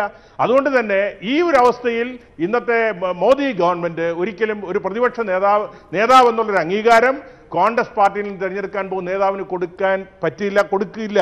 കാരണം നിയമം അനുശാസിക്കുന്നതനുസരിച്ച് പറ്റില്ല. പക്ഷെ ഇവിടെ ഇപ്പോൾ ഒരു പിന്നെ കോൺഗ്രസിന് നേതാവാരെ എന്നുള്ളതിന് അപ്പുറത്തേക്ക് ഒരു ചർച്ചയ്ക്ക് പ്രസക്തിയില്ല. കാരണം നടക്കാൻ പോകുന്നു രാഹുൽ ഗാന്ധി അപ്പോഴും ശ്രീ ആന്റണി രാജുവിന്റെ ചോദ്യം ആന്റണി രാജുവിനോട് ചോദിച്ച ചോദ്യത്തിന്റെ രണ്ടാം ഭാഗം നിൽക്കുകയാണ്. കേരളത്തിലെ നേതാക്കൾ അവരുടെ സാധ്യതകളും പരിമിതികളും എന്ന ഒരു വിഷയമുണ്ട്. ഞാൻ അതിലേക്ക് മടങ്ങി വരാം. ശ്രീ ഹരി ഞാൻ താങ്കൾ താങ്കളിലേക്ക് അവസാനം വരുന്നത് ഈ പൊതുവായ പ്രതികരണങ്ങൾ ഒരുപക്ഷെ താങ്കൾക്ക് കുറെ കൂടി അഭിപ്രായം പറയുന്നതിന് ഗുണകരമാകുമെന്ന് കരുതിയതുകൊണ്ടാണ് കോൺഗ്രസിന്റെ പ്രതിനിധി എന്ന നിലയിൽ. താങ്കളിലേക്ക് വരും മുമ്പ് ഇപ്പോൾ ടെലിഫോൺ ലൈനിൽ ശ്രീ അഡ്വക്കേറ്റ് ജയശങ്കർ ചേരുന്നുണ്ട്. അഡ്വക്കേറ്റ് ജയശങ്കർ ഇപ്പോൾ ഇങ്ങനത്തെ ഒരു സാഹചര്യത്തിൽ രാഹുൽ ഗാന്ധി കടുംപിടുത്തത്തിലാണ് അധ്യക്ഷ സ്ഥാനം ഒഴിയും. അങ്ങനെ വന്നാൽ കഴിഞ്ഞ തവണത്തെ പോലെ ലോക്സഭാ കക്ഷി നേതാവ് ആകാനും ഉണ്ടാകില്ല എന്ന പൊതുധാരണ അല്ലെ പൊതു അവസ്ഥ നിൽക്കുന്നു. അങ്ങനെ രാഹുൽ ഗാന്ധി വന്നില്ലെങ്കിൽ പിന്നെ ആര് എന്നൊരു ചോദ്യത്തിനാണ് ആ കുറി കേരളത്തിൽ വീഴുമോ എന്ന ചോദ്യം ഉയരുന്നത് അതിൽ മുൻപന്തിയിൽ തരൂർ നിൽക്കുന്നു. കേരളത്തിൽ നിന്നുള്ള നേതാക്കളുടെ സാധ്യതകളും പരിമിതികളും എങ്ങനെ കാണാം? തീർച്ചയായിട്ടും ശ്രീ രാഹുൽ ഗാന്ധി തന്നെ പ്രതിപക്ഷ നേതൃത്വം ഏറ്റെടുക്കണം. അത് അദ്ദേഹത്തിന്റെ ഒരു ഉത്തരവാദിത്വമാണ്. കാരണം എന്ന് വെച്ചാൽ അദ്ദേഹം പ്രധാനമന്ത്രി സ്ഥാനത്തേക്കാണ്. അദ്ദേഹത്തെ പ്രധാനമന്ത്രി സ്ഥാനാർത്ഥിയാക്കി ഉയർത്തിക്കാട്ടിക്കൊണ്ടാണ് കോൺഗ്രസ് യു പി ഐ തെരഞ്ഞെടുപ്പിനെ നേരിട്ടത്. ആ ഉത്തരവാദിത്തത്തിൽ നിന്ന് അദ്ദേഹത്തിന് ഒഴിയാൻ കഴിയുകയില്ല. അദ്ദേഹം പ്രധ- പ്രധാനമന്ത്രി ആകുള്ളൂ അതിൽ കുറഞ്ഞ ഒരു സ്ഥാനവും വഹിക്കുകയില്ല എന്ന് പറയുന്നത് ജനങ്ങളോടുള്ള ഒരു ധിക്കാരമാണ് അങ്ങനെ ഒരു ഒരു പൊതുപ്രവർത്തകൻ ഒരു രാഷ്ട്രീയ നേതാവ് ഒരിക്കലും ചെയ്യാൻ പാടുള്ളതല്ല മാത്രവുമല്ല നമ്മുടെ പാർലമെന്ററി സംവിധാനത്തിൽ വെസ്റ്റ് മിനിസ്റ്റർ മാതൃകയുള്ള പാർലമെന്ററി സംവിധാനത്തിൽ പ്രതിപക്ഷ നേതാവ് എന്ന് പറയുന്നത് പ്രധാനമന്ത്രിയുടെ ഒരു നിഴൽ സ്ഥാനാർത്ഥിയാണ്. അത് ഷാഡോ ക്യാബിനറ്റ് എന്ന് പറയും ബ്രിട്ടനിലൊക്കെ. ഉം. അപ്പൊ പ്രധാനമന്ത്രിയുടെ തത്തുല്യമായിട്ടുള്ള ഒരു ഉത്തരവാദിത്തമാണ് പ്രതിപക്ഷ വഹിക്കുന്നത്. പ്രധാനമന്ത്രി സർക്കാരിന്റെ വീഴ്ചകളെ പാളിച്ചകളെ ഒക്കെ തുറന്നു കാട്ടുന്നതിൽ ഏറ്റവും പ്രധാനപ്പെട്ട പങ്ക് വഹിക്കേണ്ട ആളാണ് പ്രതിപക്ഷ നേതാവ്. അപ്പൊ അദ്ദേഹം തന്നെ ആ സ്ഥാനം ഏറ്റെടുക്കണം. പിന്നെ അദ്ദേഹം ഒഴിവാകുകയാണെങ്കിൽ ആരാവണം എന്നുള്ളത് വേറെ ചോദ്യമാണ്. അങ്ങനെയാണെങ്കിൽ ശശി തരൂർ അടക്കമുള്ള മറ്റു പേരുകൾ പരിഗണിക്കാവുന്നതാണ്. ശ്രീ തരൂരിനെ സമ്മർദ്ദം അദ്ദേഹത്തിന് പാർലമെന്ററി കൺവെൻഷൻസ് നന്നായിട്ട് അറിയുന്ന ആളാണ്. ഇംഗ്ലീഷ് ഭാഷയിൽ അഗാധമായ പാണ്ഡിത്യമുള്ള ആളാണ്. അദ്ദേഹം പറയുന്ന പല വാക്കുകളും സഭാരേഖകളിൽ എങ്ങനെ രേഖപ്പെടുത്തുന്നതിനെ കുറിച്ച് നമുക്ക് ഭയമുണ്ട് സംശയമുണ്ട് എങ്കിൽ പോലും. സഭയിൽ സംസാരിക്കുമ്പോൾ അദ്ദേഹം കുറച്ചുകൂടി ലളിതമായ ഭാഷയിൽ സംസാരിക്കാമെങ്കിൽ നല്ലൊരു പ്രതിപക്ഷ നേതാവായിരിക്കും എന്നാണ് എന്റെ അഭിപ്രായം പക്ഷെ അത് സോണിയയും രാഹുലും അംഗീകരിക്കുമോ? രാഹുലിനും മുകളിലേക്ക് പോകുന്ന ഒരു നേതൃതലത്തിലേക്ക് പോകുന്ന തരൂരിന്റെ ഒരു അവസ്ഥ. മാത്രമല്ല അങ്ങനെ ഒരു സാഹചര്യം വന്നാൽ ബി ജെ പിക്ക് ബി ജെ പിയെ കുറെ കൂടി ശക്തമായി കടന്നാക്രമിക്കാൻ ലോക്സഭയിൽ അതിന്റെതായ തലത്തിലൊരു പ്രതിപക്ഷ സാന്നിധ്യം ഉറപ്പാക്കാൻ കഴിയുന്ന ഒരാളാണ് തരൂർ എന്ന കാര്യത്തിലൊന്നും യാതൊരു സംശയവുമില്ലല്ലോ. അതുകൊണ്ട് തന്നെ സോണിയയും രാഹുലും അത്രമേൽ അത് ഇഷ്ടപ്പെടുമോ? അല്ല ഈ രാഹുൽ ഗാന്ധിയാണല്ലോ പ്രതിപക്ഷ നേതാവാകേണ്ടത്. കാരണം ഉത്തരവാദിത്വം അദ്ദേഹത്തിനാണ്. അപ്പൊ നിശ്ചയമായിട്ടും അദ്ദേഹം തന്നെ ആ സ്ഥാനം ഏറ്റെടുക്കണമെന്നാണ് എന്റെ അഭിപ്രായം. പിന്നെ അദ്ദേഹം ഒഴിവാകുവാൻ മാത്രമേ വേറൊരു പേരിന് പ്രസക്തിയുള്ളൂ. അദ്ദേഹം ഒഴിവാണെങ്കിൽ പിന്നെ ആരായാലത്തെ വ്യത്യാസം? മല്ലികാർജുൻ ഖാർഗെ ഇരുന്ന സ്ഥാനമാണ്. ഇല്ലല്ലോ തോറ്റുപോയി. അല്ല മല്ലികാർജുൻ ഖാർഗെയാണ് ഈ സ്ഥാനം ഇതിനു മുമ്പ് അലങ്കരിച്ചത്. അതെ. അപ്പോൾ പിന്നെ ശശി തരൂരിന് രണ്ടു പ്രാവശ്യം ആ സ്ഥാനം അലങ്കരിക്കാം. അലങ്കരിക്കല്ല അദ്ദേഹത്തിന് കുറച്ചുകൂടി ഫലപ്രദമായിട്ട് കാര്യങ്ങളിൽ ഇടപെടേണ്ടത്. അല്ല ഞാൻ ചോദിച്ചത് ഇവരിത് സമ്മതിക്കുമോ എന്നുള്ളതാണ് എന്റെ ചോദ്യം. അല്ല അവർ സമ്മതിച്ച ആൾക്ക് മാത്രമേ പ്രതിപക്ഷ നേതാവാകാൻ കഴിയുള്ളൂ. Parliament C L P leader ആകാൻ കഴിയുള്ളൂ. അവർക്ക് താല്പര്യമുള്ള ആരാണെങ്കിലും ആ ആൾ വരും എന്നുള്ള കാര്യത്തിൽ യാതൊരു അങ്ങനെ ഒരു താല്പര്യം ഉണ്ടാകുമോ എന്നുള്ളതാണ് എന്റെ ചോദ്യം. താല്പര്യം ഉണ്ടാകുമെന്ന് എനിക്ക് എനിക്ക് തോന്നുന്നത്. കാരണം കോൺഗ്രസ് പാർട്ടിയിൽ ആർക്കും തന്നെ ശശി തരൂരിനോട് താല്പര്യമില്ല. തിരുവനന്തപുരത്ത് അദ്ദേഹം മത്സരിച്ചപ്പോൾ. പ്രമുഖരായ കോൺഗ്രസ് നേതാക്കളൊക്കെ അദ്ദേഹത്തിനെതിരെ പ്രവർത്തിച്ചവരാണ്. അദ്ദേഹത്തെ കോൺഗ്രസുകാർക്ക് ഉൾക്കൊള്ളാൻ കഴിയില്ല കോൺഗ്രസുകാർക്ക് അദ്ദേഹത്തെ ഉൾക്കൊള്ളാൻ കഴിയില്ല. അദ്ദേഹം എന്ന് വെച്ചാൽ ഈ വീണ ജോർജിനെ സി പി എം മത്സരിപ്പിച്ച പോലെ കോൺഗ്രസ് പാർട്ടി മത്സരിപ്പിച്ച ഒരു ബുദ്ധിജീവിയാണ് ശ്രീ തരൂർ. അപ്പൊ അദ്ദേഹത്തിന്റെ നിലനിൽപ്പിന്റെ രഹസ്യം എന്ന് പറയുന്നത് ഗാന്ധി നെഹ്റു കുടുംബത്തിന്റെ പിന്തുണയാണ്. ആ പിന്തുണ ഉള്ളതുകൊണ്ടാണ് അദ്ദേഹം തിരുവനന്തപുരത്ത് മത്സരിച്ചത്. അല്ലെങ്കിൽ അവിടെ നെയ്യാറ്റിൻകര സ്ഥാനമല്ലോ അങ്ങനെ ആരെങ്കിലും മത്സരിക്കില്ലേ? അപ്പോ അവരാരും മത്സരിക്കാതെ തരൂർ മത്സരിച്ച് തരൂരിന് ഗാന്ധി കുടുംബത്തിലുള്ള സ്വാധീനം കൊണ്ടാണ്. അല്ലെങ്കിൽ ഗാന്ധി കുടുംബത്തിന് ഇദ്ദേഹത്തിന്റെ മേലുള്ള ആ താല്പര്യം കൊണ്ടാണ് അപ്പൊ അങ്ങനെ താല്പര്യം ഉണ്ടെങ്കിൽ അദ്ദേഹം പ്രതിപക്ഷ നേതാവാകുന്ന അവർ താല്പര്യപ്പെടുമല്ലോ. സ്വാഭാവികമല്ലേ. അതുപോലെ തന്നെ ഈ കേരളത്തിൽ നിന്ന് വരുന്ന രണ്ട് പേരുകൾ കൂടിയുണ്ട്. താങ്കൾ ടെലിഫോൺ ലൈനിലുണ്ടാണ് ഞാൻ ചോദിക്കുന്നത്. കൊടിക്കുന്നിൽ ഏഴ് തവണയായി സഭയിലേക്ക് എത്തുന്നു. മല്ലികാർജുൻ ഖാർഗെക്ക് പിന്നാലെ ഒരു ദളിത് നേതാവിനെ ആ പദവി എത്തിച്ചു എന്ന് അഭിമാനിക്കാം. അല്ലെങ്കിൽ മുൻപ് ലോക്സഭയിൽ പോയ പരിചയമുള്ള മുരളീധരനുണ്ട്. ആ പേരുകളിലേക്കൊക്കെ പോകുമോ? അങ്ങനെ പറയുമ്പോൾ പിന്നൊരു പേരുകാരനാകെ ഈ പറയുന്ന അൻപത്തിനാല് പേരിൽ മനീഷ് തിവാരിയാണുള്ളത്. അവരുടെ വക്താവാണ്. പഴയ എൻ എസ് യുവിന്റെയും അല്ലെങ്കിൽ യൂത്ത് കോൺഗ്രസിന്റെയും ഒക്കെ പ്രസിഡന്റ് മറ്റോ ആയിരുന്ന ആളാണ്. കുറച്ചുകൂടി ഈ ഭാഷ ഉത്തരേന്ത്യൻ പ്രാതിനിധ്യമൊക്കെ ഉണ്ട് ഈ ഈ രണ്ട് മൂന്ന് പേരുകൾ കൂടി ഉള്ളൂ ആകെ കോൺഗ്രസിന് മുന്നിൽ. അതെ. അല്ല ഇപ്പൊ ആരെങ്കിലും ഒരാൾ ലീഡറായാലേ പറ്റുള്ളൂ. ഇത് കൊടുക്കുന്നിൽ സുരേഷ് ആയാലും ദോഷമൊന്നുമില്ല. മാത്രമല്ല അദ്ദേഹം ഒരു എന്താണ് അടിച്ചമർത്തപ്പെട്ട ജനവിഭാഗത്തിന്റെ ഒരു പ്രതിനിധിയാണ് എന്ന് കോൺഗ്രസുകാർക്ക് വേണമെങ്കിൽ മേനി നടിക്കാം. പക്ഷെ അതിനപ്പുറത്ത് അദ്ദേഹത്തിന് എന്ത് ചെയ്യാൻ കഴിയുന്നുള്ളൊരു ചോദ്യമല്ലേ. അതൊരു പ്രധാനപ്പെട്ട ചോദ്യമാണ്. ആ ചോദ്യത്തിന് മുമ്പിൽ ഹൈക്കമാൻഡ് എന്ത് തീരുമാനമെടുക്കും എന്നുള്ള ചോദ്യമുണ്ട്. പിന്നെ വടക്കേ ഇന്ത്യയിൽ പൊതുവെ കോൺഗ്രസിന്റെ പ്രകടനം വളരെ മോശമായ സമയത്ത് ഇത്രയധികം സീറ്റുകൾ വിജയിപ്പിച്ചു കൊടുത്ത കേരളത്തെ അവഗണിച്ചുകൊണ്ട് ഒരു മനീഷ് തിവാരിയെ കൊണ്ടുവരാന്ന് വെച്ചാൽ അതും ഒരു അഭന്യാണ്. റൈറ്റ് തീർച്ചയായും അതാണ് ഈ പേരുകളിൽ അഡ്വക്കേറ്റ് ജയശങ്കർ കാണുന്നൊരു കാര്യം. ഇവിടെ ശ്രീ ഹരി കേരളത്തിന് ഇത്തവണ കോൺഗ്രസ് കൊടുക്കേണ്ട ഒരു വലിയ പരിഗണന ഇക്കാര്യത്തിലുണ്ട്. പ്രധാനമന്ത്രി സ്ഥാനാർത്ഥിയായി വന്ന രാഹുൽ ഗാന്ധി ഒടുവിൽ ആ, പരാജയത്തെ തുടർന്ന് എല്ലാ പദവിയും ഒഴിഞ്ഞു മാറുക എന്ന് പറയുന്നത് തന്നെ രാഷ്ട്രീയമായി വലിയൊരു ശരികേടുണ്ട് എന്ന ശരിയായ വിലയിരുത്തലുണ്ട്. അത് നിൽക്കുമ്പോഴാണ് ഇനി രാഹുൽ ഗാന്ധി അങ്ങനെ ഇല്ലെങ്കിൽ അതിനൊരു വലിയ പരിഗണന കിട്ടേണ്ടത് യഥാർത്ഥത്തിൽ കേരളത്തിന് തന്നെയല്ലേ?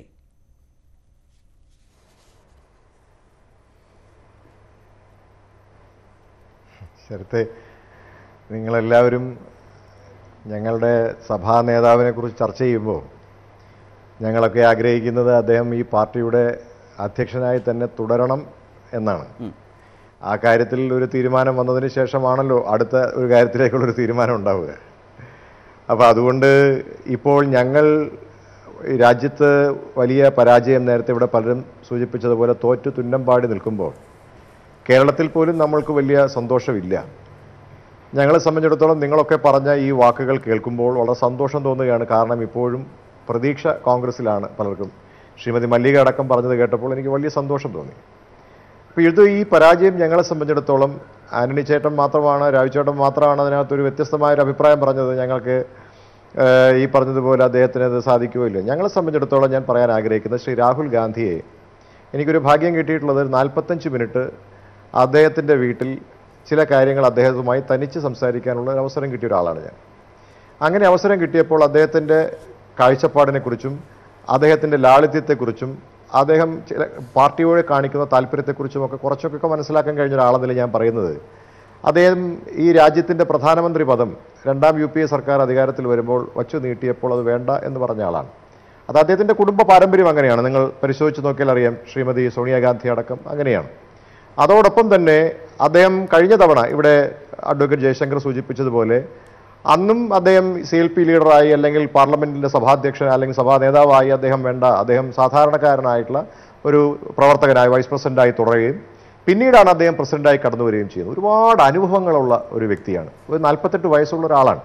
ഈ നാൽപ്പത്തെട്ട് വയസ്സുള്ള ഒരു ചെറുപ്പക്കാരൻ രാജ്യത്ത് ഒരു വലിയ സംവിധാനത്തിന്റെ മുമ്പിൽ അത് ബി ജെ പി അല്ല കേട്ടോ ആർ എസ് എസ് എന്ന് പറയുന്ന ഒരു വലിയ സംവിധാനത്തിനെതിരെ ഫൈറ്റ് ചെയ്യുകയായിരുന്നു ആ ഫൈറ്റ് എന്ന് പറയുന്നത് അദ്ദേഹത്തിന് ചെയ്യാവുന്നതിന്റെ പരമാവധി അങ്ങേയറ്റം അദ്ദേഹത്തിന് ചെയ്തു. അദ്ദേഹം കഴിഞ്ഞ ദിവസം ഇവിടെ പൊട്ടിത്തെറിച്ചുകൊണ്ട് അദ്ദേഹം പറഞ്ഞു ഞാൻ പറഞ്ഞ പല കാര്യങ്ങളും ഏറ്റെടുക്കാൻ അതിനുള്ളൊരു സംവിധാനം അതിനുള്ള നേതൃത്വം പോലും ഉണ്ടായിരുന്നില്ല എന്ന് അദ്ദേഹം തുറന്നു പറഞ്ഞ അദ്ദേഹത്തിന്റെ ആത്മാർത്ഥത കൊണ്ടാണ്. ഇപ്പോൾ അദ്ദേഹത്തെ ഇപ്പോൾ കാണുന്ന ഈ അദ്ദേഹം പൂർണമായി ഇവിടെ ആനണി ചേട്ടൻ പറഞ്ഞതൊക്കെ തിരശീല നാടകം എന്നൊക്കെയാണ് അതൊന്നും ഞാൻ അംഗീകരിക്കുന്നില്ല. ഇത് അദ്ദേഹത്തിന്റെ ഹൃദയത്തിൽ നിന്ന് ശ്രീ രാഹുൽ ഗാന്ധിയുടെ മനസ്സിൽ തൊട്ട് ഉള്ള വാക്കാണ്. അദ്ദേഹത്തിന് അതിൽ തുടരാൻ കഴിയില്ല ശരത്. കാരണം താങ്കൾ പരിശോധിച്ച് നോക്കൂ. എത്രയോ വർഷങ്ങളായി കഴിഞ്ഞ അഞ്ചു വർഷം ഒന്ന് ഈ തെരഞ്ഞെടുപ്പ് വരുന്ന സമയത്തല്ല അഞ്ചു വർഷക്കാലമായി ഈ പാർട്ടിയെ ഏകോപിപ്പിച്ചുകൊണ്ട് രാജ്യത്ത് മുഴുവൻ. ആ അദ്ദേഹം വിശ്വാസത്തോടു കൂടി ഓരോ സംസ്ഥാനത്തും അദ്ദേഹം ഏൽപ്പിച്ച ചില ചില ഘടകങ്ങളുണ്ട്. ആ ഘടകങ്ങളുടെ പ്രവർത്തനം എത്രത്തോളം നന്നായിരുന്നു എന്നാണ് നമ്മൾ വിലയിരുത്തേണ്ട ഒരു ഘടകം. ശ്രീ രാഹുൽ ഗാന്ധിയുടെ പരാജയമായി ഞാൻ ഒരിക്കലും ഇതിനെ ചിത്രീകരിക്കില്ല. അദ്ദേഹം പരാജയപ്പെട്ടില്ല എന്ന് തന്നെ വിശ്വസിക്കുന്ന ഒരാളാണ് ഞാൻ. കാരണം അദ്ദേഹം അരാഷ്ട്രീയപരമായി ഈ തെരഞ്ഞെടുപ്പിനെ മുന്നോട്ട് കൊണ്ടുപോയിട്ടില്ല എന്ന് വിശ്വസിക്കുന്ന കോൺഗ്രസ് ഇപ്പോഴത്തെ. തർക്ക വിഷയം. അല്ലെങ്കിൽ ഇപ്പോഴത്തെ നമ്മൾ ചർച്ച ചെയ്യുന്ന വിഷയവും അതല്ല. രാഹുൽ ഗാന്ധി ഇങ്ങനൊരു നിലപാട് സ്വീകരിച്ച് നിൽക്കുമ്പോൾ ലോക്സഭയിൽ സഭയ്ക്കകത്തും പുറത്തും കോൺഗ്രസ് പാർട്ടി എങ്ങനെയൊക്കെ ഇനി മുന്നോട്ട് പോകുന്നു എന്നുള്ളത് വളരെ പ്രധാനമാണ്. അവിടെ സഭയ്ക്കകത്ത് അത്തരമൊരു സാഹചര്യത്തിൽ സാഹചര്യത്തിൽ കാര്യങ്ങൾ മുന്നോട്ട് പോയാൽ പിന്നെ ആര് എന്നുള്ളതാണ് പ്രശ്നം.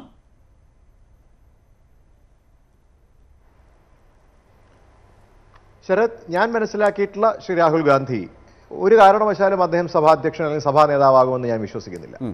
അദ്ദേഹം പാർട്ടിയുടെ നേതാവായി തന്നെ തുടരും. പാർട്ടിയെ പുനഃസംഘടിപ്പിക്കുവാനും പാർട്ടിയെ സമൂലമായി മാറ്റി നിർത്താൻ മാറ്റിയെടുക്കുവാനുമായിരിക്കും അദ്ദേഹം ഇനിയുള്ള ദിവസങ്ങളിൽ ശ്രമിക്കുക. കാരണം ഈ ഒരു ആഘാതത്തിൽ നിന്ന് കുറച്ച് കഴിയുമ്പോൾ സ്വാഭാവികമായിട്ടും അദ്ദേഹം അതിനെക്കുറിച്ച് ചിന്തിക്കുകയും തീർച്ചയായിട്ടും അദ്ദേഹത്തിന് ഒരിക്കലും ഇനി പുറകോട്ട് പോകാൻ കഴിയില്ല. കാരണം അദ്ദേഹം ഏറ്റെടുത്തിരിക്കുന്ന ഒരു വലിയ ദൗത്യം ഈ രാജ്യത്തിന്റെ ജനാധിപത്യത്തെയും ഈ രാജ്യത്തിന്റെ മതേതര സ്വഭാവവും നിലനിർത്തിക്കൊണ്ട് ഈ രാജ്യത്തെ മുന്നോട്ട് നയിക്കാൻ ഒരു പ്രതിപക്ഷത്തിനും ഉത്തരവാദിത്തമുണ്ട്. അതാണ് സണ്ണി സണ്ണിക്കുട്ടി സാർ ഇവിടെ സൂചിപ്പിച്ച കാര്യം അദ്ദേഹം വളരെ കൃത്യമായി പറഞ്ഞത് ഞാൻ അതിനെ അതിനെ അടിവരയിടാൻ ആഗ്രഹിക്കുകയാണ്. അദ്ദേഹം പറഞ്ഞ വളരെ ശരിയാണ്. കാരണം അതോടൊപ്പം അഡ്വക്കേറ്റ് ജയശങ്കറും പറഞ്ഞല്ലോ ഒരു പ്രതിപക്ഷം എന്ന് പറയുന്നത് ഒരു ഭരണപക്ഷം പോലെ തന്നെ പ്രധാനം തന്നെയാണ്. അതുകൊണ്ട് അത് അദ്ദേഹം തീർച്ചയായിട്ടും ആ സഭാധ്യക്ഷന്റെ സ്ഥാനം ഏറ്റെടുത്തില്ലെങ്കിലും അദ്ദേഹം പാർട്ടിയുടെ അധ്യക്ഷനായി തുടരുമെന്നാണ് എന്റെ വിശ്വാസം. റൈറ്റ് അവിടെ അതിന്റെ വിശദാംശങ്ങളിലേക്ക് ഞാൻ താങ്കളിലേക്ക് മടങ്ങി വരാം. ശ്രീ സണ്ണിക്കുട്ടി അബ്രാം ഇവിടെ രണ്ട് മൂന്ന് കാര്യങ്ങൾ ഇപ്പോൾ ഈ രൂപത്തിൽ വന്നത്. രാഹുൽ ഗാന്ധി ഏതായാലും രാഷ്ട്രീയം ഉപേക്ഷിക്കാനൊന്നും പോകുന്നില്ല. ആ പ്രവർത്തക സമിതിയിൽ നിന്ന് പുറത്തു വന്ന കാര്യങ്ങളുണ്ട്. രാഹുലും പൊട്ടിത്തെറിച്ചു. അല്ലെങ്കിൽ പ്രിയങ്കയും അതിശക്തമായ വിമർശനമാണ് ഇപ്പോൾ ഹരി സൂചിപ്പിച്ചതുപോലെ മറ്റ് നേതാക്കൾക്കെതിരെ ഉന്നയിച്ചത്. ആ നിലയിൽ കോൺഗ്രസിനെ സംഘടനാപരമായി ബലപ്പെടുത്തുക എന്ന നിലയിലേക്കുള്ള ഒരു ഇപ്പോൾ ബി ജെ പിയുടെ ഏറ്റവും വലിയ സ്ട്രെങ്തായി ആർ എസ് എസ് നിൽക്കുന്നത് തിരിച്ചറിഞ്ഞുകൊണ്ട് ഈ അഞ്ചു വർഷത്തെ വലിയ തിരിച്ചടിയിൽ നിന്ന് സംഘടനാപരമായി കോൺഗ്രസിനെ തിരിച്ചു കൊണ്ടുവരാൻ എന്തെങ്കിലും പരിശ്രമത്തിലേക്ക് അദ്ദേഹം നീങ്ങിയാൽ സ്വാഭാവികമായും മുൻപ് ചെയ്തതുപോലെ തന്നെ ലോക്സഭയിലെ ഉത്തരവാദിത്വം ഏറ്റെടുക്കില്ല. എന്ന് വെച്ചാൽ മോദിയും ആ സർക്കാരുമായി ഒരു നേർക്കുനേർ പോരാട്ടം സഭയ്ക്കകത്ത് ഏറ്റെടുക്കേണ്ടതുണ്ട്. അപ്പോൾ അതിന് വലിയ ചോയ്സ് അധികം പേരുകളില്ല കോൺഗ്രസിന് മുമ്പിൽ എന്നതല്ലേ വസ്തുത. അപ്പോൾ നമ്മൾ ഈ സൂചിപ്പിച്ച പേരുകൾ അതുപോലെ നേരത്തെ അഡ്വക്കേറ്റ് ജയശങ്കർ പറഞ്ഞല്ലോ കേരളത്തിന് ഈ പരിഗണന ഉത്തരേന്ത്യൻ പരിഗണനയൊക്കെ പറയുമ്പോഴും കേരളമാണ് അതിന് അർഹതപ്പെട്ടതെന്ന് അദ്ദേഹം പറഞ്ഞതും തള്ളിക്കളയാവുന്നതല്ലല്ലോ. അതിലെ ഏറ്റവും പ്രധാനപ്പെട്ട പേരായി തരൂര് നിൽക്കുകയും ചെയ്യില്ലേ അപ്പോഴും? ശ്രീ സണ്ണിക്കുട്ടി. ശരത്തെ ഈ മൂന്ന് പേരുടെ കാര്യത്തിൽ ശ്രീ ശശി തരൂർ ശ്രീ കൊടിക്കുന്നിൽ ശ്രീ മുരളീധരൻ. ഇവർ മൂന്ന് പേരും ലോക്സഭയിലെ കോൺഗ്രസിന്റെ പാർലമെന്ററി പാർട്ടി ലീഡറാകുന്ന കാര്യത്തിൽ എനിക്ക് സന്തോഷമേ ഉള്ളൂ. പക്ഷേ നമ്മൾ മറ്റ് പല കാര്യങ്ങളും ഇക്കാര്യത്തിൽ പരിഗണിക്കേണ്ടതുണ്ട്. ഒന്നാമത്തെ കാര്യം കഴിഞ്ഞ മോഡിയുടെ സർക്കാരിന്റെ കാലത്തെ പാർലമെന്റിലെ കോൺഗ്രസിന്റെ പാർലമെന്ററി പാർട്ടിയുടെ പ്രവർത്തനം ഒന്ന് വിലയിരുത്തുക. എത്രത്തോളം ശക്തമായിരുന്നു? മല്ലികാർജുന ഖാർഗെ ആയിരുന്നു പാർലമെന്ററി പാർട്ടി ലീഡർ. പക്ഷേ അവസാന കാലമായപ്പോഴേക്കാണ്ട് ഒന്ന് ഒന്നര രണ്ട് കൊല്ലക്കാലം വാസ്തവത്തിൽ പാർലമെന്റിൽ കോൺഗ്രസിനെ നയിച്ചത് അവസാനത്തെ അവിശ്വാസ പ്രമേയം ഉൾപ്പെടെ ആ കോൺഗ്രസ്സിന് വളരെ കൃത്യമായ നേതൃത്വം കൊടുത്തത് രാഹുൽ ഗാന്ധി തന്നെയാണ്. അപ്പോൾ രാഹുൽ ഗാന്ധി സംഘടനയെ ശക്തിപ്പെടുത്തണം. ഇനി വരുന്ന അഞ്ചു വർഷം എന്ന് പറയുന്നത് പാർലമെന്റിന്റെ പുറത്ത് കോൺഗ്രസിന്റെ സംഘടനാ ശക്തിയും സംഘടനാ രൂപവും ഒക്കെ കരിപ്പിടിപ്പിക്കുക അതിനെ ശക്തിപ്പെടുത്തുക എന്നതിനൊപ്പം തന്നെ പ്രധാനം അർഹിക്കുന്നതാണ്. അടുത്ത അഞ്ച് വർഷക്കാലം മോഡിയെ പാർലമെന്റിൽ നേരിടുക. മോഡി എന്ന് പറഞ്ഞാൽ ഞാനൊരു വ്യക്തിയായിട്ടല്ല കാണുന്നത്. ഒരു വലിയ ആശയമായിട്ടാണ്. ആ ആശയം നമുക്കറിയാം നമ്മൾ ഒത്തിരി ചർച്ച ചെയ്ത. ഇന്ത്യയെ സംബന്ധിച്ചിടത്തോളം സ്വീകാര്യമല്ല. വോട്ടർ തെരഞ്ഞെടുപ്പിൽ അവർ വലിയ ബഹുഭൂരിഷനുണ്ടെങ്കിലും ഇന്ത്യയെ സ്നേഹിക്കുന്ന ആളുകളെ സംബന്ധിച്ചിടത്തോളം ഈ ആശയം ഒട്ടും സ്വീകാര്യമല്ല. ഞാൻ ഒരൊറ്റ ഉദാഹരണം പറയാൻ ആഗ്രഹിക്കുന്നത്. ഇന്ന് എക്കണോമിക് ടൈംസ് ആണ് ഏതോ ഒരു പത്ര പത്രത്തിന്റെ ഞാൻ പത്രത്തിൽ വായിച്ചതല്ല ഓൺലൈൻ ഓൺലൈനിൽ വായിച്ചത് ഗവൺമെന്റ് ഇപ്പോൾ ആലോചിക്കുന്നത് സാമ്പത്തിക പരിഷ്കരണം എന്ന നിലയിൽ ഭൂമിയുടെയും തൊഴിലിന്റെയും വില കുറയ്ക്കാനാണ്. അതായത് വലിയ കോർപ്പറേറ്റ് സ്ഥാപനങ്ങൾക്ക് വേണ്ടി സർക്കാരിന്റെ ഭൂമി വില കുറച്ച് കൊടുക്കുക. ഒപ്പം തന്നെ തൊഴിലിന്റെ വില കുറയ്ക്കുക എന്ന് പറയുമ്പോൾ തൊഴിലാളികളുടെ ശമ്പളം വെട്ടിക്കുറയ്ക്കുക തൊഴിലാളികളുടെ ആനുകൂല്യങ്ങൾ കുറയ്ക്കുക. അങ്ങനെ ഒരു വേറൊരു അവർ കഴിഞ്ഞ അഞ്ച് വർഷക്കാലം മടിച്ചു നിന്ന മേഖലകളിൽ പോലും കൂടുതൽ അഗ്രസീവായിട്ട് അത് സാമ്പത്തിക രംഗം മാത്രമല്ല സാമൂഹിക ഇപ്പം ന്യൂനപക്ഷങ്ങൾ അവർ അവർക്കൊരു നിരാശ ഉണ്ടാകാതെ നോക്കണം എന്നൊക്കെ ഇപ്പോൾ ഈ മേനി പറച്ചിലൊക്കെ തുടക്കത്തിലെ പറച്ചിലാണ്. നമുക്കറിയാം പാർലമെന്റിന്റെ പടിക്കെട്ടുകളിൽ നമസ്കരിച്ചുകൊണ്ടാണ് ശ്രീ മോഡി ആദ്യം കഴിഞ്ഞ അഞ്ച് വർഷങ്ങൾക്ക് മുമ്പ് പാർലമെന്റിലേക്ക് ലോക്സഭയിലേക്ക് വരുന്നത്. അദ്ദേഹം എത്ര തവണ പാർലമെന്റിൽ അദ്ദേഹത്തിന്റെ പാർലമെന്റിലെ അറ്റൻഡൻസും നോക്കേണ്ടതാണ്. ഇപ്പോൾ ഭരണഘടനയെ നമ്മൾ നമസ്കരിക്കുന്നു. ഭരണഘടനയെ വന്ദിക്കുന്നു. അതിന്റെ അർത്ഥം നോക്കി വച്ചിരിക്കുന്നത് ഭരണഘടനയെ തന്നെയാണ്. ഭരണഘടനയെ എങ്ങനെ മാറ്റാമെന്നുള്ളത് തന്നെയാണ് ബി ജെ പി ഇനി ശ്രദ്ധിക്കാൻ പോകുന്നത്. ഇതിൽ നിന്ന് നമുക്ക് മനസ്സിലാക്കാം. അപ്പോൾ ഒരു വലിയ ഒരു ഒരു ഒരു സമരനിരയോ അല്ലെങ്കിൽ ഒരു ഒരു പ്രവർത്തനം ഉണ്ടാകേണ്ട മേഖലയാണ് ലോക്സഭ. അപ്പോൾ ശരത്തിന്റെ ഒരു ചോദ്യം എനിക്ക് അത് വളരെ കൗതുകരമായിട്ട് തോന്നി. അതായത് പിന്നെ ശ്രീ ജയശങ്കറിനോട് ചോ ചോദിച്ച ചോദ്യം. ഇപ്പോൾ നമ്മളിപ്പോൾ ചർച്ച ചെയ്യുന്നത് ഒരുപക്ഷെ അദ്ദേഹം ഈ പാർലമെന്ററി പാർട്ടി ലീഡർ ആകണമെന്ന് ഞാൻ പറഞ്ഞു അല്ലെങ്കിൽ ശ്രീ ജയശങ്കർ അങ്ങനെ ഒരു അഭിപ്രായം ഉന്നയിച്ചു. അപ്പോൾ അപ്പോൾ അദ്ദേഹത്തിന് അദ്ദേഹം നല്ല പെർഫോമൻസ് കാഴ്ചവെക്കുന്നു. അത് സോണിയാഗാന്ധിക്കും രാഹുൽ ഗാന്ധിക്കും ഇഷ്ടപ്പെടുമോ എന്ന ചോദ്യത്തിന്റെ അർത്ഥം സത്യം പറഞ്ഞാൽ എനിക്ക് മനസ്സിലായില്ല. കാരണം അപ്പോൾ രാഹുൽ ഗാന്ധി ഈ പദവി ഏറ്റെടുക്കുന്നില്ല. അപ്പോൾ മറ്റാരെങ്കിലും ഏറ്റെടുത്താൽ നല്ല പെർഫോമൻസ് ഉണ്ടാവരുത്. അങ്ങനെയൊന്നും ആഗ്രഹിക്കുന്ന ആ ഒരു സാഹചര്യം ഇപ്പോൾ എനിക്കുണ്ടെന്ന് തോന്നുന്നില്ല ഇപ്പോൾ തന്നെ ശ്രീ ആന്റണി രാജു ഒരു പരിഹാസസ്വരത്തിൽ പറഞ്ഞതിനോട് എനിക്ക് യോജിപ്പില്ല. കോൺഗ്രസ് ആയതുകൊണ്ട് ഇങ്ങനെയൊക്കെ പറഞ്ഞു പോകും. കോൺഗ്രസ് ഇങ്ങനെ പല പലവട്ടം നടന്നിട്ടുണ്ട്. പക്ഷേ ഞാൻ മനസ്സിലാക്കുന്നത് നമുക്ക് ഡൽഹിയിൽ നിന്ന് കിട്ടുന്ന ഇൻഫർമേഷനും വളരെ സിൻസിയറായിട്ടാണ് അദ്ദേഹം നിലപാടെടുത്തിരിക്കുന്നത് ഞാൻ ഇല്ല ഞങ്ങളുടെ കുടുംബത്തിൽ നിന്നൊരു പുറത്തു നിന്ന് ഒരാൾ വരട്ടെ എന്നുള്ളൊരു നിലപാട് വളരെ വളരെ ആത്മാർത്ഥമായിട്ട് എടുത്തിരിക്കുന്ന ഒരു നിലപാട്. അദ്ദേഹത്തിന് വലിയ റിസർവേഷൻസ് ഉണ്ട്. അദ്ദേഹത്തിന് നിരാശയുണ്ട്. അതുകൊണ്ട് തന്നെ എടുത്തിരിക്കുകയാണ്. ഇപ്പോൾ പ്രമേയം പാസ്സാക്കി എന്നിട്ടും അദ്ദേഹം വഴങ്ങുന്നില്ലെങ്കിൽ വീണ്ടും വീണ്ടും വർക്ക് പ്രവർത്തക സമിതി കൂടേണ്ടി വരും. ആ സാഹചര്യം പണ്ടൊക്കെ കണ്ട നാടകം പോലെയാണ് എന്ന് ഇതിനെ തള്ളിപ്പറയാൻ എനിക്ക് എനിക്ക് എനിക്ക് പറ്റുന്നില്ല. അപ്പോൾ ഞാൻ പറഞ്ഞത് വലിയൊരു ബാധ്യത രാഹുൽ ഗാന്ധിയുടെ മുമ്പിലുണ്ട്. രാഹുൽ ഗാന്ധി പാർട്ടിയുടെ പ്രസിഡന്റ് സ്ഥാനം വിട്ടാൽ പിന്നെ ആര് നയിക്കാനാ? നമുക്കിപ്പോൾ ഇവിടെ ഈ മക്കളുടെ രാഷ്ട്രീയത്തെക്കുറിച്ചോ കുടുംബവാഴ്ചയെക്കുറിച്ചോ ഒന്നും കോൺഗ്രസിന്റെ കാര്യത്തിൽ പറയാനൊന്നുമില്ല. ഞാൻ ചോദിക്കുന്നത് രാഹുൽ ഗാന്ധി അല്ലാതെ പിന്നെ ആരാണ്? കേരള ഇന്ത്യയിലെ കോൺഗ്രസിനെ നയിക്കാനുള്ളത്. ഇപ്പം തന്നെ കഴിഞ്ഞ രണ്ട് മാസം മുമ്പ് വന്ന Priyanka Gandhi A I C C general secretary ആയിട്ട് വന്നു. എ സി ആ പദവിയിൽ ഇരുന്നുകൊണ്ട് അവർ എത്രത്തോളം ആളുകളെ ആകർഷിച്ചു അവരുടെ യോഗങ്ങൾ വേറെ ആരാണ് ഉള്ളത്? നമ്മൾ കുടുംബാഴ്ചയൊക്കെ കുറ്റം പറയുന്നത് പക്ഷേ ഇപ്പം കോൺഗ്രസ് ആ ലെവലിലായി. ഇപ്പം രാഹുൽ ഗാന്ധിയോ പ്രിയങ്ക ഗാന്ധിയോ അല്ലെങ്കിൽ പിന്നെ ആര് ഈ പാർട്ടിയെ നയിക്കും എന്നൊരു വലിയൊരു ചോദ്യമുള്ളപ്പോൾ നമുക്ക് ശശി തരൂർ വരുന്നതിനെക്കുറിച്ചൊന്നും അഭിപ്രായ വ്യത്യാസമില്ല. എന്നല്ല ഒന്നാം തരം ആ, ഒരു പാർലമെന്ററി പാർട്ടി ലീഡറായിരിക്കും. ഒക്കെ ശരിയാണ്. പക്ഷേ ഞാൻ പറഞ്ഞല്ലോ ഇവിടെ ഹരി പോലും പറഞ്ഞു അദ്ദേഹം പാർട്ടിയെ കെട്ടി പിന്നെ അല്ല, അദ്ദേഹവും പറഞ്ഞു. രംഗത്ത് നിൽക്കുള്ളൂ.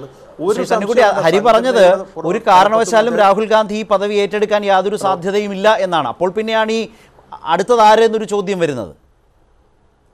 ഞാൻ ഞാൻ അത് ഞാൻ ഞാൻ പറയുന്നത് യാതൊരു സംശയവും വേണ്ട. നമ്മൾ അടുത്ത അഞ്ച് വർഷം നമ്മൾ പ്രതീക്ഷിക്കാത്തത് പ്രതീക്ഷിക്കേണ്ടി പ്രതീക്ഷിക്കാൻ പാടില്ലാത്തത് പ്രതീക്ഷിക്കേണ്ടിയിരിക്കുന്നു. എന്റെ അഭിപ്രായത്തിൽ ഇന്നത്തെ നിലയിൽ ഈ അൻപത്തി നാല് അംഗ പാർലമെന്ററി പാർട്ടിക്ക് പാർലമെന്റിൽ ശക്തമായിട്ട് നേതൃത്വം കൊടുക്കാൻ രാഹുൽ ഗാന്ധിക്കാണ് സാധിക്കുക.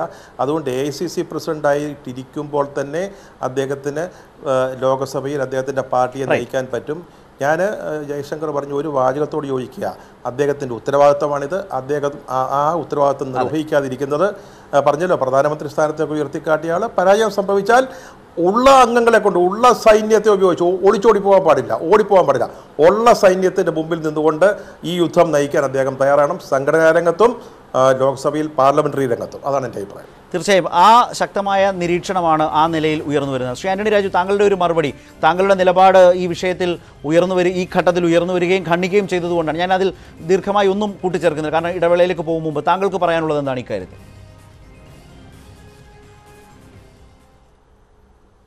അല്ല ഞാൻ പറഞ്ഞതുമായി വലിയ വ്യത്യാസമൊന്നും ഇവിടെ ബഹുമാനായ ശ്രീ സണ്ണിക്കുട്ടി ഇബ്രാഹിം പറഞ്ഞത് എനിക്ക് തോന്നുന്നില്ല. കാരണം ഇവിടെ ശ്രീ മല്ലികാർജുന ഖർഗെ ഇരുന്നൊരു കസേരയിൽ ഇനി ഇന്ന് കോൺഗ്രസ് ജയിച്ചു എന്ന് ആര് വന്നിരുന്നാലും അതിനകത്ത് യാതൊരു വ്യത്യാസമില്ല കാരണം മല്ലികാർജുന ഖർഗെ അവിടെ കോൺഗ്രസിന്റെ നേതാവായി ഇരിക്കുമ്പോഴും ബഹുമാനായ ശ്രീ സണ്ണിക്കുട്ടി ഇബ്രാഹിം പറഞ്ഞതുപോലെ ആ പാർലമെന്റിൽ കോൺഗ്രസിനെ നയിച്ചത് രാഹുൽ ഗാന്ധി തന്നെയാണ്. അതുകൊണ്ട് ഏതൊരാളെ പിടിച്ചവിടെ വെച്ചു എന്ന് വെച്ചാലും രാഹുൽ ഗാന്ധിക്ക് തന്നെയാണ് ഈ പടം നയിക്കേണ്ട ബാധ്യതയും ഉത്തരവാദിത്വവും വരുന്നത്. രാഹുൽ ഗാന്ധി അല്ലാതെ മറ്റൊരാളെ ആ സ്ഥാനത്തേക്ക് കാണാൻ കോൺഗ്രസ്സുകാർക്കും കഴിയില്ല. പ്രതിപക്ഷത്തിലെ മറ്റു പാർട്ടികളും അത് അംഗീകരിക്കില്ല. അതുകൊണ്ട് തന്നെ ശ്രീ രാഹുൽ ഗാന്ധി ആയിരിക്കും ഈ കോൺഗ്രസിനെ അവിടെ നയിക്കാൻ പോവുക. ഇവിടെ ശ്രീ പിന്നെ ശശി തരൂരിന്റെ പേരൂടെ പറഞ്ഞല്ലോ. ഞാൻ ചോദിക്കട്ടെ ശശി തരൂർ ഒരു കാലഘട്ടത്തിൽ ഈ കഴിഞ്ഞ ലോക്സഭയുടെ തുടക്കത്തിൽ ഒരു ബി ജെ പിയുടെ ചായ്വ് കാണിച്ചു എന്നുള്ള ആരോപണം കോൺഗ്രസിൽ നിന്ന് തന്നെ ഉയർന്നു വന്നത് വന്നതാണ്. അതുകൊണ്ട് തന്നെ ശ്രീ പിന്നെ ശശി തരൂരിന്റെ സാധ്യത അത്രത്തോളം ഉണ്ടെന്ന് എനിക്ക് തോന്നില്ല പിന്നെ മറ്റൊരു കാര്യം ഇവിടെ കോൺഗ്രസിനെ സംബന്ധിച്ച് ഇപ്പോൾ ഏതാണ്ട് ഒരു കേരള കോൺഗ്രസിന്റെ കായി മാറിയിരിക്കുകയാണ്. കാരണം കേരളത്തിൽ നിന്നാണ് അവർക്ക് പതിനഞ്ച് ഏറ്റവും കൂടുതൽ എം പിമാരെ കിട്ടിയിരിക്കുന്നത്. ഇനി കോൺഗ്രസ് പോലുള്ളൊരു പാർട്ടിക്ക് ദേശീയ തലത്തിൽ ഹിന്ദി മേഖലയിൽ ശക്തി പ്രാപിച്ച് തിരിച്ചു വരേണ്ട ബാധ്യതയുള്ളൊരു പാർട്ടിക്ക് ഒരു ദേശീയ തലത്തിൽ ഉയർന്നു വരേണ്ട ഒരു പാർട്ടിക്ക് കേരളത്തിൽ നിന്ന് തന്നെ ഒരു പ്രതിപക്ഷ പിന്നെ ഒരു കോൺഗ്രസിന്റെ നേതാവിനെ കൊടുത്താൽ ഒരു മലയാളിയെ കൊടുത്താൽ അത് പിന്നെ ഉത്തരേന്ത്യൻ സംസ്ഥാനങ്ങളിലെ കോൺഗ്രസ് നേതൃത്വം അംഗീകരിക്കുമെന്ന് എനിക്ക് തോന്നുന്നില്ല. കാരണം കോൺഗ്രസിന്റെ പഴയ ചരിത്രം അത് തന്നെ. ഉത്തരേന്ത്യ തീർച്ചയായും ആന്റണി രാജു പറഞ്ഞതുപോലെ ആ പാർട്ടിക്കകത്ത് മുതിർന്ന നേതാക്കളിൽ അത്തരമൊരു അഭിപ്രായമുണ്ട് നേരത്തെ ശ്രീ സണ്ണിക്കുട്ടിയും അത് സൂചിപ്പിച്ചു. അതായത് വീണ്ടും അതൊരു ദക്ഷിണേന്ത്യൻ പാർട്ടിയായി ഒരു കേരള പാർട്ടിയായി കോൺഗ്രസ് ആണല്ലോ കേരള കോൺഗ്രസ് അല്ലല്ലോ എന്നൊരു ചോദ്യത്തെ നേരിടേണ്ടി വരും. ശ്രീമതി മല്ലിക ഇപ്പോൾ രാഹുൽ ഗാന്ധി ഇപ്പോൾ എടുക്കുന്ന നിലപാടും ഒരർത്ഥത്തിൽ ശരിയല്ലേ? ഗാന്ധി കുടുംബത്തിന് പുറത്തുനിന്നും അധ്യക്ഷ പദവിയിലേക്ക് നേതാവ് വരട്ടെ അല്ലെങ്കിൽ ഒരു കൂട്ടായ നേതൃത്വത്തെക്കുറിച്ച് പറയുന്ന ഒരു തുറന്ന ജനാധിപത്യത്തിന്റെ കോൺഗ്രസിൽ പല കാലത്തും കാണാതിരുന്ന ഒരു സ്വരം അതിലുണ്ട്. മാത്രമല്ല കഴിഞ്ഞ മോദി സർക്കാരിന്റെ കാലത്ത് ആ സർക്കാരിന്റെ ആ ഭരണകൂടത്തിന്റെ അവകാശങ്ങൾക്കെതിരായ ഒരു കൗണ്ടർ നറേറ്റീവ് ഉണ്ടാക്കുന്നതിലാണ് വലിയ പരാജയം സംഭവിച്ചത്. ഈ തെരഞ്ഞെടുപ്പ് എടുക്കുമ്പോഴത്തെ പൊതുയോഗങ്ങളും റോഡ് ഷോയും അല്ല രാഷ്ട്രീയം എന്ന നല്ല തിരിച്ചറിവ് കോൺഗ്രസിൽ ഏതായാലും രാഹുൽ ഗാന്ധിക്കും പ്രിയങ്ക ഗാന്ധിക്കും എങ്കിലും മിനിമം ഉണ്ടായിട്ടുണ്ട്. അപ്പോൾ പുതിയ സാഹചര്യത്തിൽ പുതിയ നേതൃത്വം സഭയ്ക്കകത്തും പുറത്തും എന്നതൊരു പാർട്ടിയെ സംബന്ധിച്ച് അടിമുടി അതിനെ നവീകരിക്കുന്നതിൽ വളരെ പ്രധാനപ്പെട്ടതല്ലേ? അവിടെയല്ലേ പുതിയ പേരുകളെക്കുറിച്ച് ആലോചിക്കേണ്ടത്? അവിടെ കേരളത്തിന്റെ വലിയ പ്രാതിനിധ്യം ഒരു ലോക്സഭാ കക്ഷി നേതൃസ്ഥാനത്തേക്ക് വരുന്നത് അത്ര ചെറുതല്ല അത്ര ഒട്ടും ചെറുതല്ലാത്തൊരു പ്രധാനപ്പെട്ട കാര്യമാണ്. എഴുപത്തിയെട്ടിലാണ് സി എം സ്റ്റീഫൻ പ്രതിപക്ഷ നേതാവായത്. അതിനുശേഷം വീണ്ടും അത്തരമൊരു അവസരം മലയാളിക്ക് വന്നു ചേരുന്നു എന്നത് ഒട്ടും ചെറുതല്ല.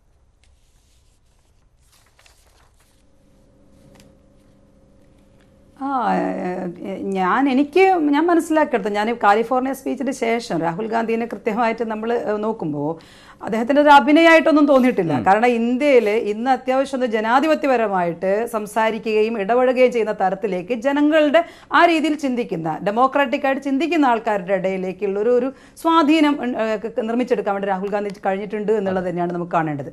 അപ്പോൾ സ്വാഭാവികമായിട്ട് നേരത്തെ പറഞ്ഞതുപോലെ തന്നെ പക്ഷേ സംഘടന എന്ന് പറഞ്ഞാൽ അഞ്ചു വർഷം എന്ന് ഇനി അടുത്ത അഞ്ചു വർഷത്തിനുള്ളിൽ കോൺഗ്രസ് എന്ന് പറയുന്ന സംഘടനയ്ക്ക് ഇന്ന് കോൺഗ്രസിന്റെ അകത്തുള്ളതെന്ന് പറഞ്ഞാൽ ഒഴുകി പോകേണ്ടതൊക്കെ തന്നെ. അധികാരമുള്ളപ്പോഴും പണമുള്ളപ്പോഴും ഒഴുകി പോകേണ്ടതൊക്കെ കുറേയൊക്കെ ഒഴുകി പോയിട്ട് നിൽക്കുന്ന ഒരു കുറച്ചുകൂടി പ്യൂരിഫൈഡ് ആയിട്ടുള്ള ആൾക്കാരാണ് അതിനുള്ളിൽ ഇപ്പം കിടക്കുന്നുണ്ടാവുക കുറച്ചൊക്കെ.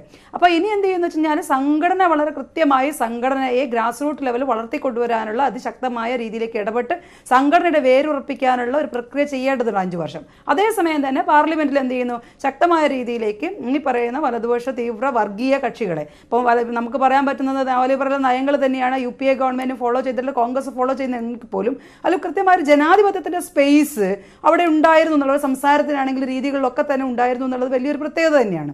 കമ്പയർ ചെയ്യുന്ന സമയത്ത് അതെ ഞാനും വളരെ പോസിറ്റീവായിട്ടാണ് പറഞ്ഞത്. മല്ലിക അത് രാഹുൽ ഗാന്ധി രാഹുൽ ഗാന്ധി ഒളിച്ചോടുകയല്ല.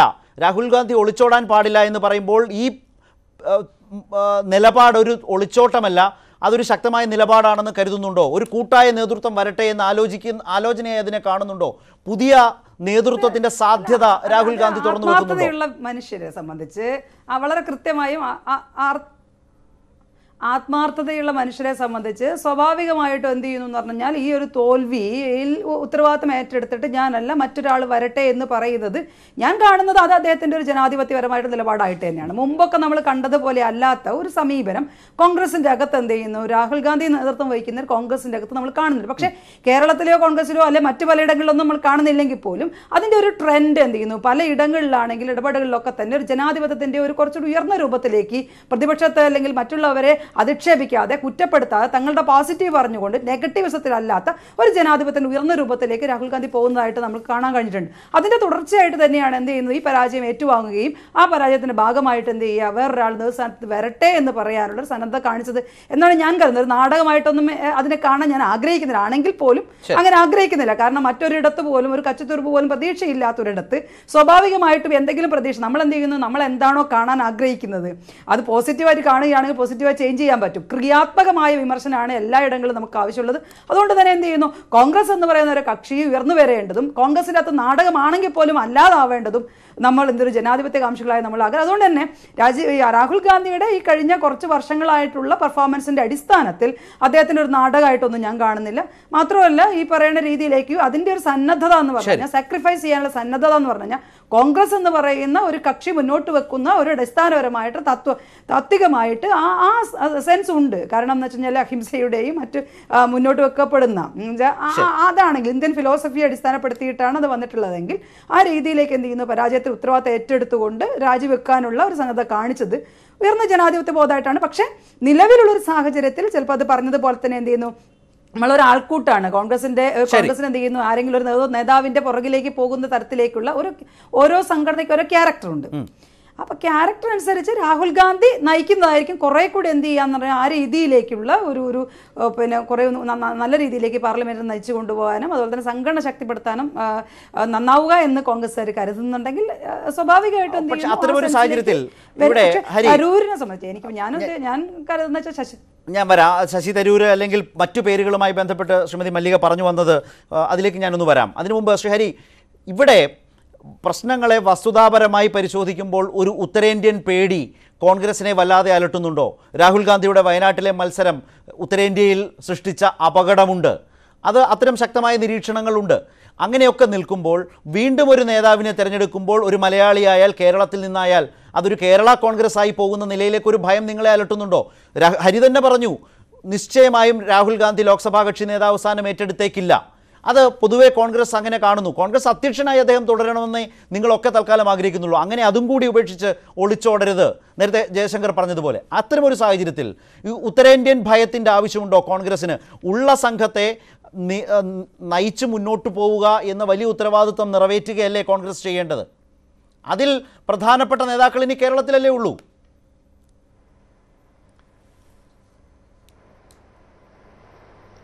ശരത്ത് രണ്ട് ചോദ്യങ്ങളാണ് ചോദിച്ചത്. അതിൽ ഒന്നാമത്തത് ആദ്യം ഞാൻ അഡ്രസ്സ് ചെയ്യാം. ഒന്നാമത്തതിന് കാരണമുണ്ട്. ഞാൻ അങ്ങനെ പറയാനുള്ള കാരണം വളരെ വ്യക്തമായിട്ട് എന്റെ മനസ്സിലുള്ളത് കൊണ്ടാണ്. ഒന്ന് നോക്കൂ ഞാൻ ഇപ്പോൾ പാർട്ടി എന്തായാലും സമൂലമായി നവീകരിക്കാൻ പോവുകയാണ്. അല്ലെങ്കിൽ നവീകരിക്കപ്പെടും. ഒരു സംശയ കാര്യത്തിൽ വേണ്ട.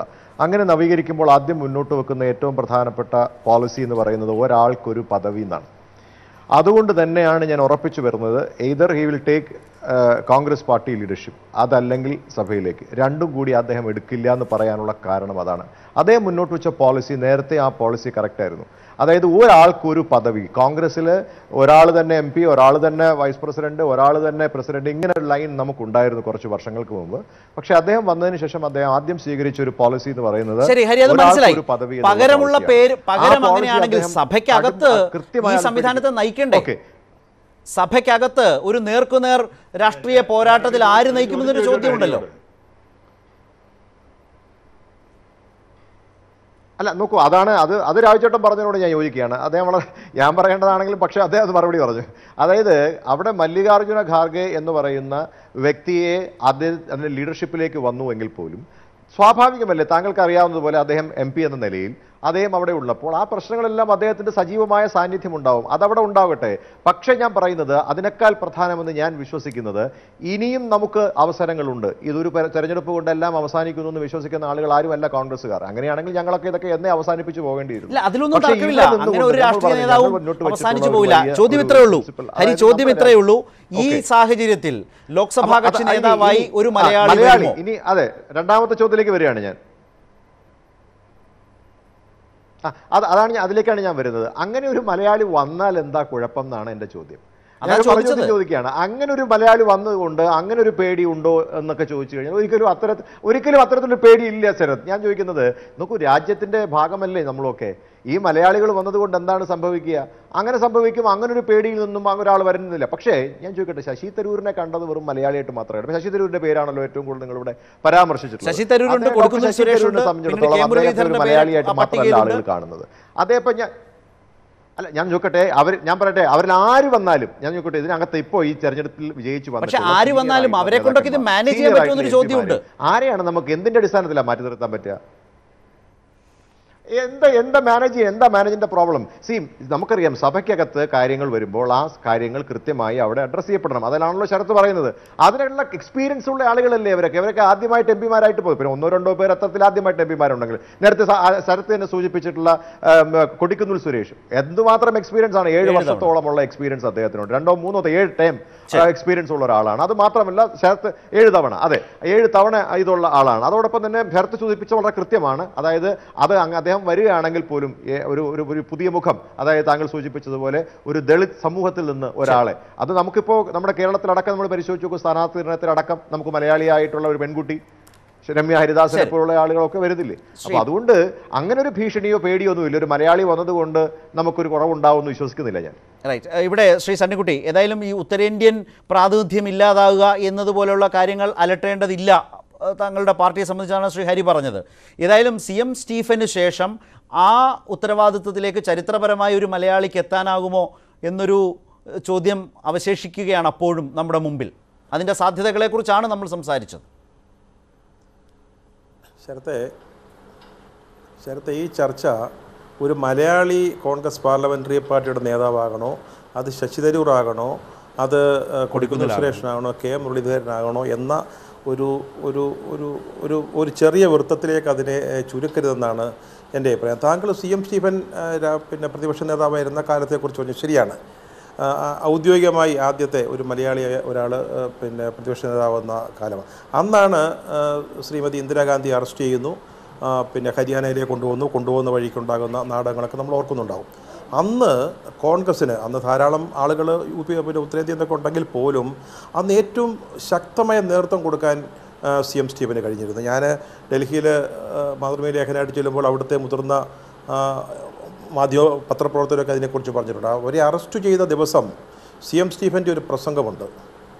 ശ്രീമതി ഇന്ദിരാഗാന്ധി ഒരു ഇടിമുഴക്കം പോലെ തിരിച്ചു വരും. She will come back like a thunder എന്ന് പറഞ്ഞിട്ട് ആ മൊത്തത്തിലെ ആ നറേറ്റീവിനെ മറ്റൊരു തരത്തിലേക്ക് മാറ്റാൻ അദ്ദേഹത്തിന് സാധിച്ച ഒരു കാലമൊക്കെ നമ്മുടെ മുമ്പിലുണ്ട്. പക്ഷേ അന്നത്തെ ഇന്ത്യ അല്ല ശരത്തെ ഇത് നമ്മളൊരു കാര്യം മനസ്സിലാക്കണം. ഈ വരും വർഷങ്ങളിൽ അടുത്ത അഞ്ച് വർഷമാണല്ലോ മോദി എന്തായാലും തീർച്ചയായിട്ടും ഭരി ഭരിക്കും. ഈ കാലത്ത് പുതിയ പുതിയ നെറേറ്റീവ്സ് പുതിയ പുതിയ ആഖ്യാനങ്ങൾ വരാൻ പോവുകയാണ് നിങ്ങൾ സ്റ്റാലിൻ കഴിഞ്ഞ ദിവസം പറഞ്ഞ ഒരു ഒരു ഒരു പ്രസ്താവനയുണ്ട്. അല്ലെങ്കിൽ അദ്ദേഹം മുന്നോട്ട് വെച്ച ഒരു ഒരു ഒരു ആശയമുണ്ട്. ദക്ഷിണേന്ത്യയിലെ ദ്രാവിഡ സംസ്ഥാനങ്ങൾ ഒരു പുതിയ ഒരു ഒരു ഒരു ഒരു എന്റിറ്റി ആയിട്ട് മാറി നിൽക്കുന്നതിനെക്കുറിച്ച് ആലോചിക്കണമെന്ന് സൂചിപ്പിച്ചുകൊണ്ട് പറഞ്ഞ ഒരു ഒരു ഒരു വാചകമുണ്ട്. ഇതത്ര ചെറിയ കാര്യമൊന്നുമല്ല. ഇതിപ്പോൾ കോൺഗ്രസ് പഞ്ചാബിലും തെക്കേ ഇന്ത്യയിലും മാത്രം ഒതുങ്ങുന്ന ഒരു പാർട്ടിയായിട്ട് മാറുകയാണെങ്കിൽ ആ പാർട്ടിക്ക് വളരാൻ വളരെ പ്രയാസമാണ് അവ ഹിന്ദി ഹൃദയഭൂമിയിൽ അവർക്ക് പ്രവർത്തകരോ വേരുകളോ ഇല്ലാഞ്ഞിട്ടല്ല. തെരഞ്ഞെടുപ്പിന്റെ പ്രത്യേക സാഹചര്യത്തിൽ കൂടുതൽ വോട്ടുകൾ നേടി ബി ജെ പി വരുന്നു. അതിന് അതിന്റെതായ ധാരാളം കാരണങ്ങളുണ്ട്. നമ്മുടെ ചർച്ചാ വിഷയം അതല്ല. അങ്ങനെ കോൺഗ്രസ്സിന് ഉത്തരേന്ത്യയെ ഒഴിവാക്കി നിർത്തിക്കൊണ്ട് ഇപ്പം തന്നെ രാഹുൽ ഗാന്ധി തന്നെ കോൺഗ്രസിന്റെ അധ്യക്ഷ പദവി അദ്ദേഹം ഒഴിവാകുന്ന ഞാൻ കരുതുന്നു അദ്ദേഹം ഇപ്പോൾ ജയിച്ചു വന്നിരിക്കുന്ന കേരളത്തിൽ നിന്നാണ്. കേരളത്തിൽ നിന്ന് പതിനഞ്ച് പേരുണ്ട്. കേരളത്തിൽ നിന്ന് ഒരു പാർലമെന്ററി പാർട്ടി ലീഡർ എനിക്ക് സന്തോഷമാണ് ഒരു ഉപദേശീയത എന്ന മട്ടിൽ നമ്മൾ ചിന്തിക്കുകയാണെങ്കിൽ കേരളത്തിൽ നിന്നോ മലയാളത്തിൽ നിന്നോ ഒരാൾ വരുന്നതിനെക്കുറിച്ചൊക്കെ സന്തോഷിക്കാം. പക്ഷേ കോൺഗ്രസ്സിന് അങ്ങനെ അഫോർഡ് ചെയ്യാൻ പറ്റത്തില്ല. ഒരു ഒരു ദക്ഷിണേന്ത്യൻ പാർട്ടിയായിട്ട് കോൺഗ്രസിന് മാറാൻ പറ്റത്തില്ല.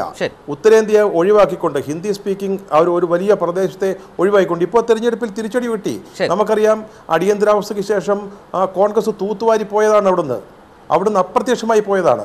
മൂന്ന് വർഷത്തിനകം ഇന്ദിരാഗാന്ധി വലിയ ഭൂരിപക്ഷത്തോടുകൂടി അതും അതും ഉത്തരേന്ത്യൻ സംസ്ഥാനങ്ങളിൽ വലിയ ഭൂരിപക്ഷം നേടിക്കൊണ്ട് ഒൻപത് സംസ്ഥാനങ്ങളിൽ അന്ന് സംസ്ഥാന സർക്കാരുകളെ ജനതാ പാർട്ടി അന്ന് ജനതാ പാർട്ടി സർക്കാർ പിരിച്ചുവിട്ടെങ്കിൽ മൂന്ന് വർഷത്തിന് ഒമ്പത് സംസ്ഥാനങ്ങളിൽ ആ പുതിയ കോൺഗ്രസ് ഗവൺമെന്റുമായിട്ടായിരുന്നു വെച്ചാൽ അന്നുണ്ടായ ജനതാ പാർട്ടി സർക്കാരുകളെ ഇന്ദിരാഗാന്ധി പിരിച്ചുവിട്ട് തെരഞ്ഞെടുപ്പ് നടത്തി ആ ഒൻപത് സംസ്ഥാനങ്ങളിലും പുതിയ പാർട്ടി അതൊക്കെ രാഷ്ട്രീയത്തിൽ അതൊക്കെ അവിടെ ഒരു സാധ്യത അപ്പോൾ അതുകൊണ്ട് ഹിന്ദിയെ അല്ലെ ഹിന്ദി മേഖലയെ ഒഴിവാക്കിക്കൊണ്ട് പതിനഞ്ച് അംഗങ്ങൾ കൂടുതലുണ്ട് എന്ന മട്ടിൽ കേരളത്തിൽ നിന്ന് ഒരാൾ ഉണ്ടായേ പറ്റൂ എന്ന രീതിയിലൊക്കെ നമ്മൾ ചിന്തിക്കുന്നത്. അങ്ങനെ ചിന്തിക്കാൻ കോൺഗ്രസ് നേതൃത്വം തയ്യാറാണ് അത് അപകടകരമാണ്. സണ്ണിക്കുട്ടി സംശയവുമില്ല. താങ്കൾ പറഞ്ഞു വെക്കുന്നത് അത്തരം ഭയമില്ല എന്നാണ് ശ്രീ ഹരിയുടെ വാദം. ശ്രീ സണ്ണി ശ്രീ. ആന്റണി രാജു ഒറ്റ വാചകത്തിൽ ഒറ്റ വാചകത്തിൽ ഒരു സാധ്യതയും അങ്ങനെ കാണുന്നില്ല എന്നാണോ താങ്കൾ പറഞ്ഞു വെക്കുന്നത്?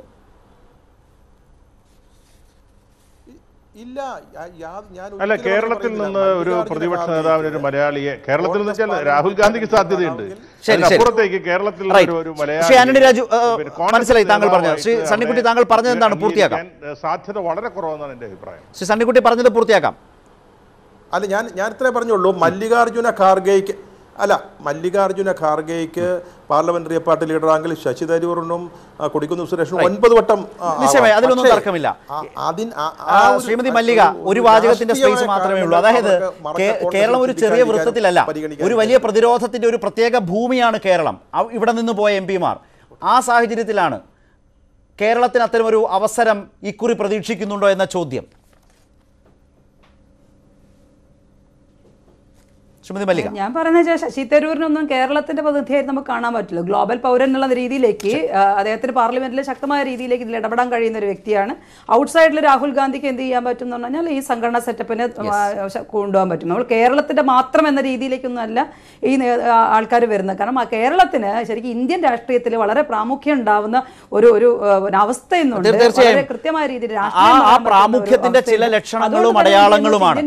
ഇതുപോലത്തെ ഇതുപോലത്തെ ഒരു സവിശേഷമായി ഇന്ത്യൻ രാഷ്ട്രീയ സാഹചര്യത്തിൽ ഒരു പ്രതിപക്ഷ നേതൃ പദവിക്ക് സമാനമായ ഒരു ലോക്സഭാ കക്ഷി നേതാവായി ഒരു മലയാളി അവിടേക്ക് എത്തുമോ എന്ന ചോദ്യം പ്രസക്തമാവുന്നത് അവിടെയാണ്.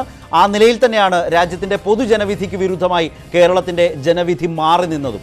ലോക്സഭാ കക്ഷി നേതാവായി കോൺഗ്രസിന്റെ ലോക്സഭാ കക്ഷി നേതാവായി മലയാളി എത്തുമോ എന്ന ചോദ്യമാണ് ഉയർന്നത്. നല്ല പ്രതികരണമാണ് എഫ് ബി പോളിലൂടെ ഉയർന്നു വന്നതും. അൻപത്തിയേഴ് ശതമാനം ആളുകളും അത്തരമൊരു പ്രതീക്ഷ വെക്കുന്നു. പ്രത്യേകിച്ച് രാഹുൽ ഗാന്ധി വിട്ടുനിൽക്കാൻ തയ്യാറായാൽ. രാഹുൽ ഗാന്ധി ആയാൽ തന്നെ കേരളത്തിൽ നിന്ന് ജയിച്ചു ചെന്ന രാഹുൽ ഗാന്ധി അപ്പോഴും കേരളം പ്രസക്തമാണ്. നാൽപ്പത്തി മൂന്ന് ശതമാനം ആളുകൾ മലയാളിയാകും എന്ന നിലയിൽ കരുതുന്നില്ല. ഉത്തരേന്ത്യൻ രാഷ്ട്രീയ സാഹചര്യങ്ങൾ കൂടി കോൺഗ്രസ് പരിഗണിച്ചേക്കും എന്നാവാം ഒരുപക്ഷെ അവരുടെ പ്രതികരണത്തിൽ പ്രതിഫലിച്ചിട്ടുണ്ടാവുക. വളരെയധികം നന്ദി ശ്രീ ആന്റണി രാജു ശ്രീ ഹരി മല്ലിക എം ജി മല്ലിക അതുപോലെ തന്നെ ശ്രീ സണ്ണിക്കുട്ടി എബ്രഹാം ഞങ്ങളുമായി സഹകരിച്ചു. പ്രൈം ഡിബേറ്റ് അവസാനിക്കുന്നു. നമസ്കാരം.